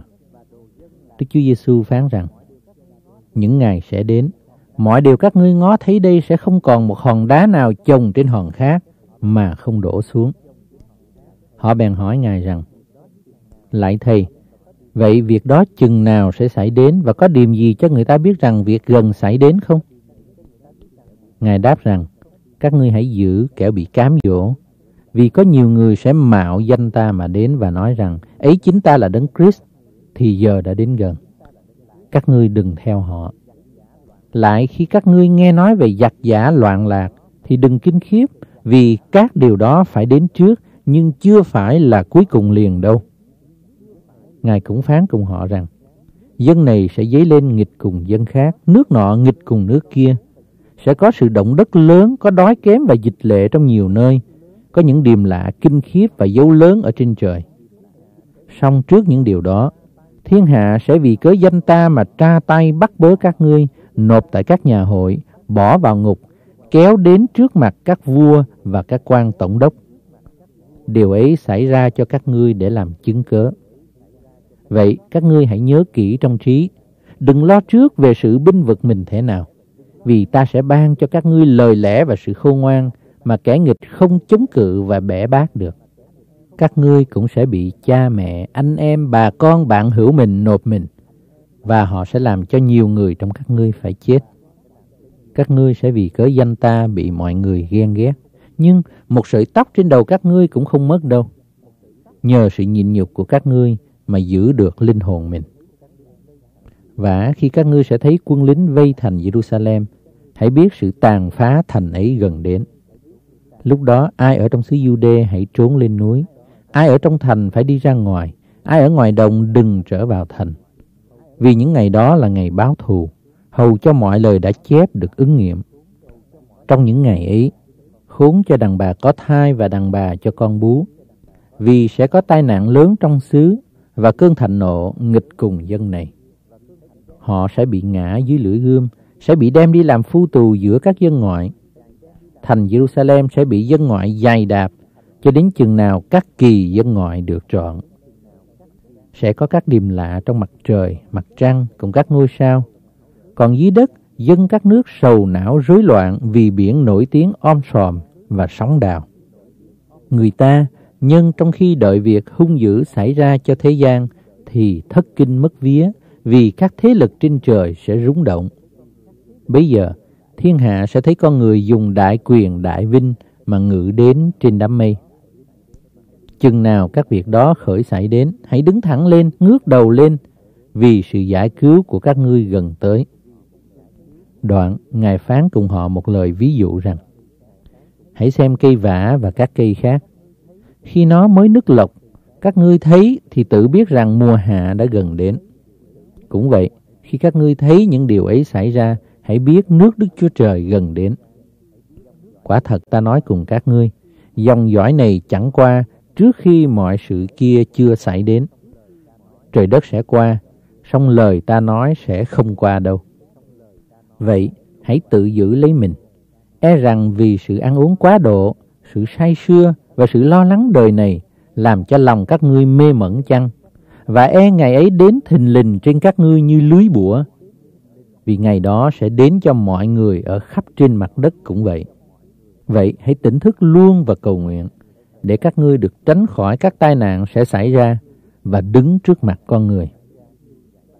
Và ban ngày Đức Chúa Giêsu dạy dỗ trong đền thờ, còn đến chiều Ngài đi lên núi gọi là núi Olive mà ở đêm tại đó. Vừa tảng sáng, cả dân sự đến cùng Ngài trong đền thờ, đặng nghe Ngài dạy. Chương 22 Ngày lễ ăn bánh không men tức là lễ vượt qua đến gần. Các thầy tế lễ cả cùng các thầy thông giáo tìm phương đặng giết Đức Chúa Giêsu vì họ sợ dân. Và quỷ Satan ám vào Juda, gọi là Iscariot là người trong số 12 sứ đồ. Nó đi kiếm các thầy tế lễ cả và các thầy đội để đồng mưu dùng cách nào nộp ngài cho họ. Các người kia mừng lắm, hứa sẽ cho nó tiền bạc. Nó đã ưng thuận với họ bèn kiếm dịp tiện đặng nộp Đức Chúa Giêsu trong khi dân chúng không biết. Đến ngày lễ ăn bánh không men là ngày người ta phải giết con sinh làm lễ vượt qua. Đức Chúa Giêsu sai Phi-rơ và Giăng đi mà phán rằng: Hãy đi dọn lễ vượt qua cho chúng ta ăn. Hai người thưa rằng: Thầy muốn chúng tôi dọn lễ ấy tại đâu? Ngài đáp rằng: Khi các ngươi vào thành, sẽ gặp một người mang vò nước. Hãy theo người vào nhà và nói cùng chủ nhà rằng: Thầy phán cùng ngươi rằng: Phòng khách là chỗ ta sẽ ăn lễ vượt qua với môn đồ ta ở đâu. Chủ nhà sẽ chỉ cho một cái phòng rộng và cao, đồ đạc sẵn sàng. Các ngươi hãy dọn ở đó. Hai môn đồ đi, quả gặp những điều như Ngài đã phán, bèn dọn lễ vượt qua. Đến giờ, Ngài ngồi bàn ăn. Các sứ đồ cùng ngồi với Ngài. Ngài phán rằng, ta rất muốn ăn lễ vượt qua này với các ngươi trước khi ta chịu đau đớn vì ta nói cùng các ngươi, ta sẽ không ăn lễ này nữa cho đến khi lễ ấy được trọn trong nước Đức Chúa Trời.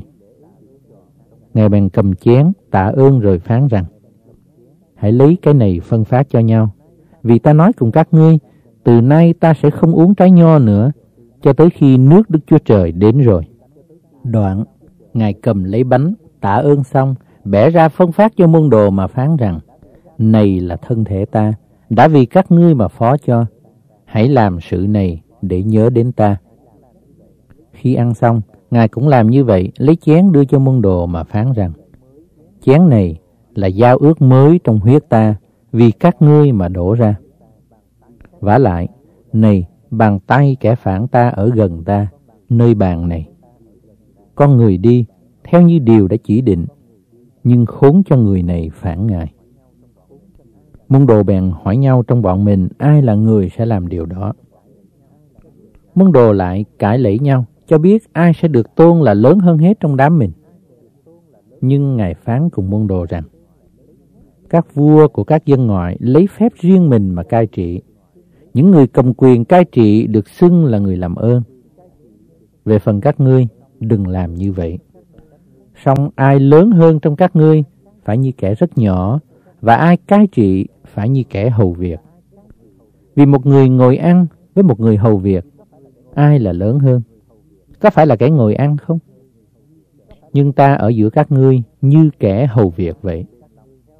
Còn như các ngươi đã bền lòng theo ta trong mọi sự thử thách ta, nên ta ban nước cho các ngươi, cũng như cha ta đã ban cho ta vậy, để các ngươi được ăn uống chung bàn trong nước ta, và được ngồi ngay để xét đoán 12 chi phái Israel. Hỡi Simon, Simon, này, quỷ Satan đã đòi sàng sải ngươi như lúa mì. Song ta đã cầu nguyện cho ngươi, hầu cho đức tin ngươi không thiếu thốn. Vậy, đến khi ngươi đã hối cải, hãy làm cho vững chí anh em mình. phi thưa rằng, Thưa Chúa, tôi sẵn lòng đi theo Chúa đồng tù đồng chết. Đức Chúa Giêsu đáp rằng, Hỡi phi ta nói cùng ngươi, hôm nay khi gà chưa gái, ngươi sẽ ba lần chối không biết ta. Đoạn Ngài lại phán rằng, khi ta đã sai các ngươi đi, không đem túi, bao, dài chi hết, các ngươi có thiếu gì không? Môn đồ thưa rằng không thiếu chi hết. Ngài phán rằng, nhưng bây giờ ai có túi bạc, hãy lấy đi. Ai có bao cũng vậy. Ai không có gươm, hãy bán áo ngoài đi mà mua. Vì ta giao cho các ngươi, có lời chép rằng, Ngài đã bị kể vào hàng kẻ dữ. Lời ấy phải ứng nghiệm về chính mình ta. Thật vậy, sự đã chỉ về ta hầu được trọn. Các sứ đồ thưa rằng, Thưa Chúa, có hai thanh gươm đây. Ngài phán rằng, ấy là đủ. Đoạn, Đức Chúa Giêsu ra đi, lên núi Olive theo như thói quen, các môn đồ cùng đi theo Ngài. Khi đã đến nơi đó, Ngài phán cùng môn đồ rằng, hãy cầu nguyện, hầu cho các ngươi khỏi xa và sự cám dỗ. Ngài bèn đi khỏi các môn đồ, cách chừng liện một cục đá quỳ xuống mà cầu nguyện rằng, Lại cha, nếu cha muốn, xin cất chén này khỏi tôi. Do vậy, xin ý cha được nên chứ không theo ý tôi. Có một thiên sứ từ trên trời hiện xuống cùng Ngài mà thêm sức cho Ngài. Trong cơn rất đau thương, Ngài cầu nguyện càng thiết, mồ hôi trở nên như giọt máu lớn rơi xuống đất. Cầu nguyện xong, Ngài đứng dậy trở lại cùng các môn đồ, thấy đương ngủ mê vì buồn rầu. Ngài phán rằng, sao các ngươi ngủ? Hãy đứng dậy cầu nguyện để cho khỏi xa và sự cám dỗ. Khi Ngài còn đương phán, một lũ đông kéo đến.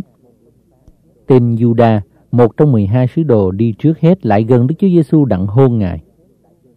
Đức Chúa Giêsu hỏi rằng, Hỡi Juda, ngươi lấy cái hôn để phản con người sao?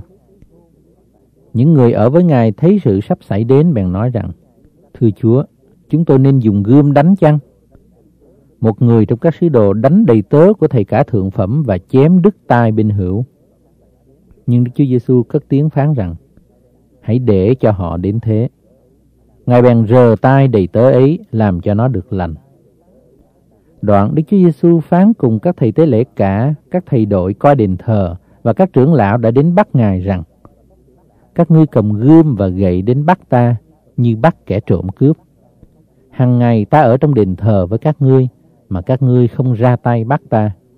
Nhưng này là giờ của các ngươi và quyền của sự tối tăm vậy. Bây giờ, họ bắt Đức Chúa Giêsu đem đi, giải Ngài đến nhà thầy cả thượng phẩm. Phi-e-rơ đi theo Ngài xa xa. Họ nhúm lửa giữa sân rồi ngồi với nhau. Phi-e-rơ cũng ngồi giữa đám họ. Một con đòi kia thấy Phi-e-rơ ngồi gần lửa thì ngó chăm chỉ mà nói rằng người này vốn cũng ở với người ấy. Song Phi-e-rơ chối Đức Chúa Giêsu nói rằng hỏi đàn bà kia, ta không biết người đó. Một lát, có người thấy Phi-e-rơ nói rằng, ngươi cũng thuộc về bọn đó. Phi-e-rơ đáp rằng, hỡi người, ta không phải thuộc về bọn đó đâu. Độ cách một giờ, có kẻ khác đề quyết như vậy mà rằng, thật người này cũng ở với Giêsu vì người là dân Galilee. Nhưng Phi-e-rơ cãi rằng, hỡi người ta không biết ngươi nói chi. Đương lúc Pierre còn nói thì gà liền gái. Chúa xây mặt lại ngó Phi-e-rơ. Nhớ lại lời Chúa đã phán cùng mình rằng hôm nay trước khi gà chưa gái ngươi sẽ chối ta ba lần. Rồi đi ra ngoài, khóc lóc thảm thiết. Và những kẻ canh Đức Chúa Giêsu nhạo báng và đánh Ngài, che mặt Ngài lại rồi nói rằng Hãy nói tiên tri đi, hãy đoán xem ai đánh ngươi. Họ lại nhiếc móc Ngài nhiều lời khác nữa. Đến sáng ngày, các trưởng lão trong dân, các thầy tế lễ cả và các thầy thông giáo nhóm lại rồi sai đem Đức Chúa Giêsu đến nơi tòa công luận. Họ hỏi Ngài rằng, nếu ngươi phải là Đấng Christ, hãy xưng ra cho chúng ta. Ngài đáp rằng, nếu ta nói thì các ngươi không tin, nếu ta tra gạn các ngươi thì các ngươi không trả lời. Nhưng từ nay về sau, con người sẽ ngồi bên hữu quyền phép Đức Chúa Trời. Ai nấy đều hỏi rằng, vậy ngươi là con Đức Chúa Trời sao? Ngài đáp rằng, chính các ngươi nói ta là con Ngài. Họ bèn nói rằng, chúng ta nào có cần chứng cớ nữa làm chi? Chính chúng ta đã nghe từ miệng nó nói ra rồi. Chương 23 Đoạn cả hội đồng đứng dậy, điệu Ngài đến trước mặt Phi Lát. Họ bèn khởi cáo Ngài rằng, chúng tôi đã thấy người này xui dân ta làm loạn, cấm nộp thuế cho Caesar và xưng mình là Đấng Christ là vua. Phi Lát gạn Ngài rằng, chính ngươi là vua dân Juda phải không? Đức Chúa Giêsu đáp rằng, thật như lời. Phi Lát bèn nói với các thầy tế lễ cả và dân chúng rằng, ta không thấy người này có tội gì. Nhưng họ cố nài rằng, người này xui dục dân sự, truyền giáo khắp đất Jude, bắt đầu từ xứ Galile rồi đến đây. Khi Phi Lát nghe điều đó thì hỏi nếu người này thật là dân Galile chăng? Biết Ngài thuộc quyền cai trị của vua Herod, bèn giải đến cho vua Herod. Vua ấy ở tại thành Jerusalem trong mấy ngày đó. Vua Herod thấy Đức Chúa Giêsu thì mừng lắm, vì lâu nay vua muốn gặp Ngài, nhưng đã nghe nói về chuyện Ngài và mong xem Ngài làm phép lạ. Vậy vua hỏi Ngài nhiều câu, song Ngài không trả lời gì hết. Các thầy tế lễ cả và các thầy thông giáo ở đó cáo Ngài dữ lắm.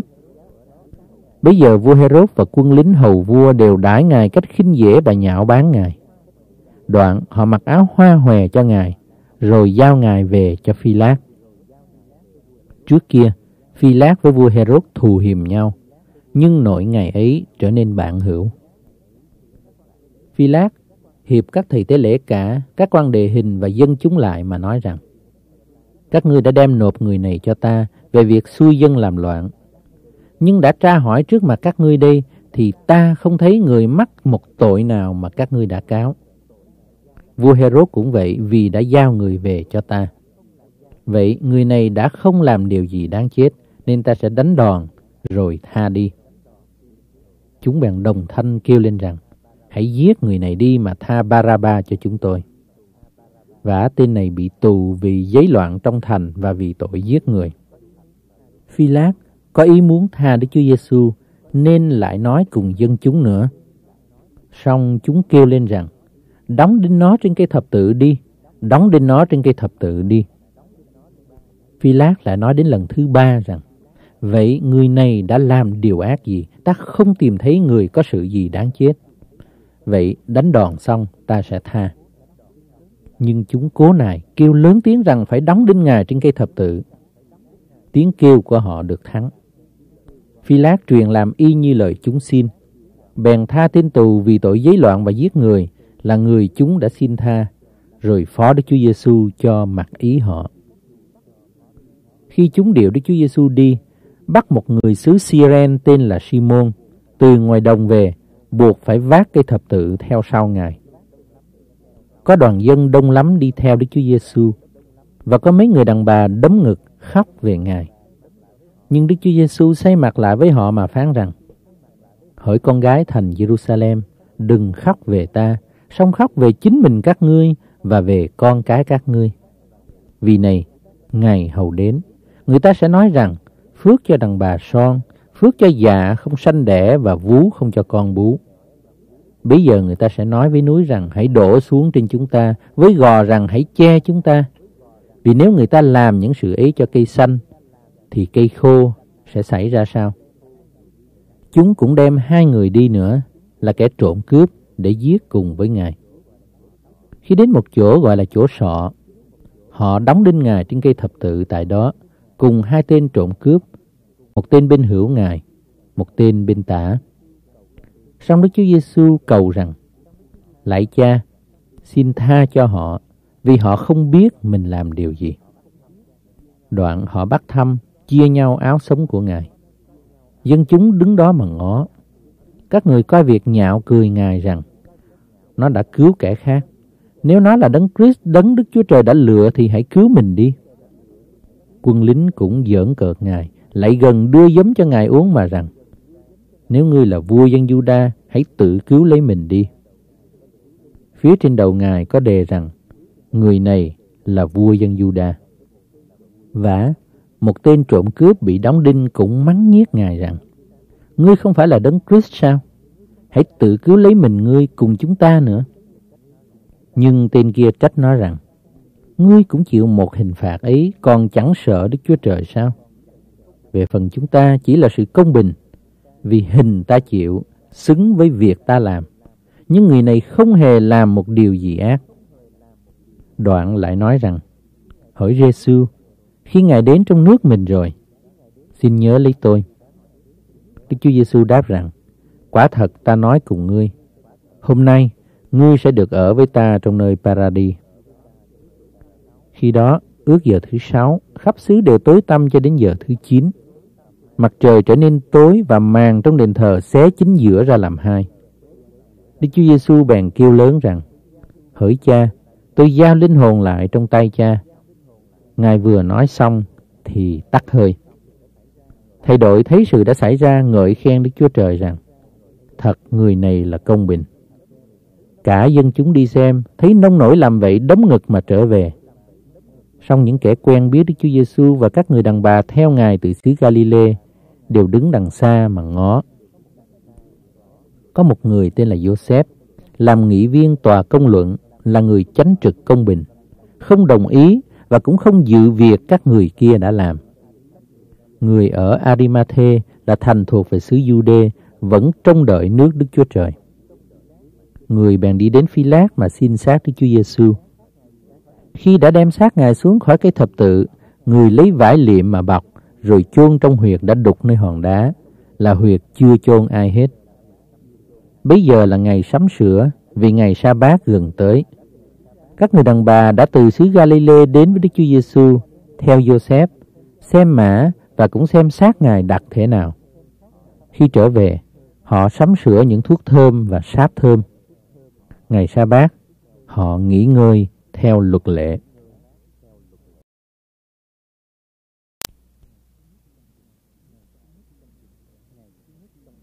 Ngày thứ nhất trong tuần lễ, khi mờ sáng, các người đàn bà ấy lấy thuốc thơm đã sửa soạn đem đến mồ ngài. Họ thấy hòn đá đã lăn ra khỏi cửa mồ, nhưng bước vào không thấy xác Đức Chúa Giêsu. Đương khi không biết nghĩ làm sao, xảy có hai người nam mặc áo sáng như chớp hiện ra trước mặt họ. Họ đứng thất kinh úp mặt xuống đất thì hai người ấy nói rằng, sao các ngươi tìm người sống trong vòng kẻ chết? Ngài không ở đây đâu, song Ngài đã sống lại. Hãy nhớ khi Ngài còn ở xứ Galilee phán cùng các ngươi thế nào. Ngài đã phán rằng, con người phải bị nộp trong tay kẻ có tội, phải đóng đinh trên cây thập tự, và ngày thứ ba phải sống lại. Họ bèn nhớ lại những lời Đức Chúa Giêsu đã phán. Họ ở mồ trở về, rao truyền mọi sự ấy cho 11 sứ đồ và những người khác. Ấy là Marie Madeleine, Janner và Mary mẹ của Gia Cơ cùng các đàn bà khác đi với họ đã rao truyền như vậy cho các sứ đồ. Song các sứ đồ không tin cho lời ấy như là hư không. Dầu vậy, Phi-rơ đứng dậy, chạy đến mồ, cúi xuống mà dòm, chỉ thấy vải liệm ở trên đất. Đoạn về nhà, lạ lùng cho việc đã xảy ra. Cũng trong ngày ấy, có hai môn đồ đi đến làng kia gọi là Emmaus, cách thành Jerusalem 60 hectare. Họ đàm luận về những sự đã xảy ra. Đang khi nói và cãi lẽ nhau, chính Đức Chúa Giêsu đến gần cùng đi đường với họ. Nhưng mắt hai người ấy bị che khuất không nhìn biết Ngài được. Ngài phán cùng họ rằng, Các ngươi đương đi đường, nói chuyện gì cùng nhau vậy? Họ dừng lại buồn bực lắm. Một trong hai người tên là Cleopa trả lời rằng, Có phải chỉ ngươi là khách lạ ở thành Jerusalem không hay việc đã xảy đến tại đó cách mấy bữa rày sao? Ngài hỏi rằng, Việc gì vậy? Họ trả lời rằng, Ấy là việc đã xảy ra cho Jesus Nazareth, một đấng tiên tri có quyền phép trong việc làm và trong lời nói trước mặt Đức Chúa Trời và cả chúng dân. Làm sao mà các thầy tế lễ cả cùng các quan đề hình ta đã nộp Ngài để xử tử và đã đóng đinh trên cây thập tự. Chúng tôi trông mong Ngài sẽ cứu lấy dân Israel. Dầu thế ấy, việc xảy ra đã được ba ngày rồi. Thật có mấy người đàn bà trong vòng chúng tôi đã làm cho chúng tôi lấy làm lạ lắm. Khi mờ sáng họ đến mồ, không thấy xác Ngài, thì về báo rằng có thiên sứ hiện đến nói Ngài đương sống. Có mấy người trong vòng chúng tôi cũng đi thăm mồ, thấy mọi điều y như lời họ nói, còn Ngài thì không thấy. Đức Chúa Giêsu bèn phán rằng, hỡi những kẻ dại dột, có lòng chậm tin lời các đấng tiên tri nói, há chẳng phải đấng Christ chịu thương khó thể ấy mới được vào sự vinh hiển mình sao? Đoạn, Ngài bắt đầu từ Môi-se, rồi kế đến mọi đấng tiên tri mà cắt nghĩa cho hai người đó những lời chỉ về Ngài trong cả Kinh Thánh. Khi hai người đi gần đến làng mình định đi, thì Đức Chúa Giêsu dường như muốn đi xa hơn nữa. Nhưng họ ép Ngài dừng lại mà thưa rằng, xin ở lại với chúng tôi vì trời đã xế chiều hầu tối. Vậy Ngài vào ở lại cùng họ. Đương khi Ngài ngồi ăn cùng hai người, thì lấy bánh chúc tạ đoạn bẻ ra cho họ. Mắt họ bèn mở ra mà nhìn biết Ngài. Xong Ngài thoạt biến đi không thấy. Hai người nói cùng nhau rằng, khi nãy đi đường, Ngài nói cùng chúng ta và các nghĩa kinh thánh, lòng chúng ta há chẳng nóng nảy sao? Nỗi giờ đó, họ liền đứng dậy trở về thành Jerusalem, gặp 11 sứ đồ cùng các môn đồ khác đương nhóm lại, nói với họ rằng, Chúa thật đã sống lại và hiện ra với Simon. Rồi hai người thuật lại sự đã xảy đến khi đi đường và nhìn biết Ngài lúc bẻ bánh ra là thế nào. Môn đồ đương nói với nhau như vậy, chính Đức Chúa Giêsu hiện ra giữa đó mà phán rằng: Bình an cho các ngươi. Nhưng môn đồ đều sửng sốt rụng rời tưởng thấy thần. Ngài phán rằng: Sao các ngươi bối rối và sao trong lòng các ngươi nghi làm vậy? Hãy xem tay chân ta, thật chính ta, hãy rờ đến ta và hãy xem. Thần thì không có thịt xương mà các ngươi thấy ta có. Đường phán vậy, Ngài giơ tay và chân ra cho xem. Nhưng vì có môn đồ vui mừng nên chưa tin chắc và lấy làm lạ thì Ngài phán rằng, ở đây các ngươi có gì ăn không? Môn đồ dâng cho Ngài một miếng cá nướng. Ngài nhận lấy mà ăn trước mặt môn đồ. Đoạn Ngài phán rằng, ấy đó là điều mà khi ta còn ở với các ngươi, ta bảo các ngươi rằng, mọi sự đã chép về ta trong luật pháp môi xe, các sách tiên tri cùng các thi thiên phải được ứng nghiệm. Bây giờ Ngài mở trí cho môn đồ được hiểu kinh thánh. Ngài phán, có lời chép rằng, Đấng Christ phải chịu đau đớn giường ấy, ngày thứ ba sẽ từ kẻ chết sống lại, và người ta sẽ nhân danh Ngài mà rao giảng cho dân các nước sự ăn năn để được tha tội, bắt đầu từ thành Jerusalem. Các ngươi làm chứng về mọi việc đó. Ta đi sẽ ban cho các ngươi điều cha ta đã hứa. Còn về phần các ngươi, hãy đợi trong thành cho đến khi được mặc lấy quyền phép từ trên cao. Kế đó, Ngài đem môn đồ đi đến nơi xung quanh làng Bethany, giơ tay lên mà ban phước cho họ. Đương khi ban phước, Ngài lìa môn đồ mà được đem lên trời. Môn đồ thờ lại Ngài, rồi trở về thành Jerusalem mừng rỡ lắm. Môn đồ cứ ở trong đền thờ luôn, ngợi khen Đức Chúa Trời.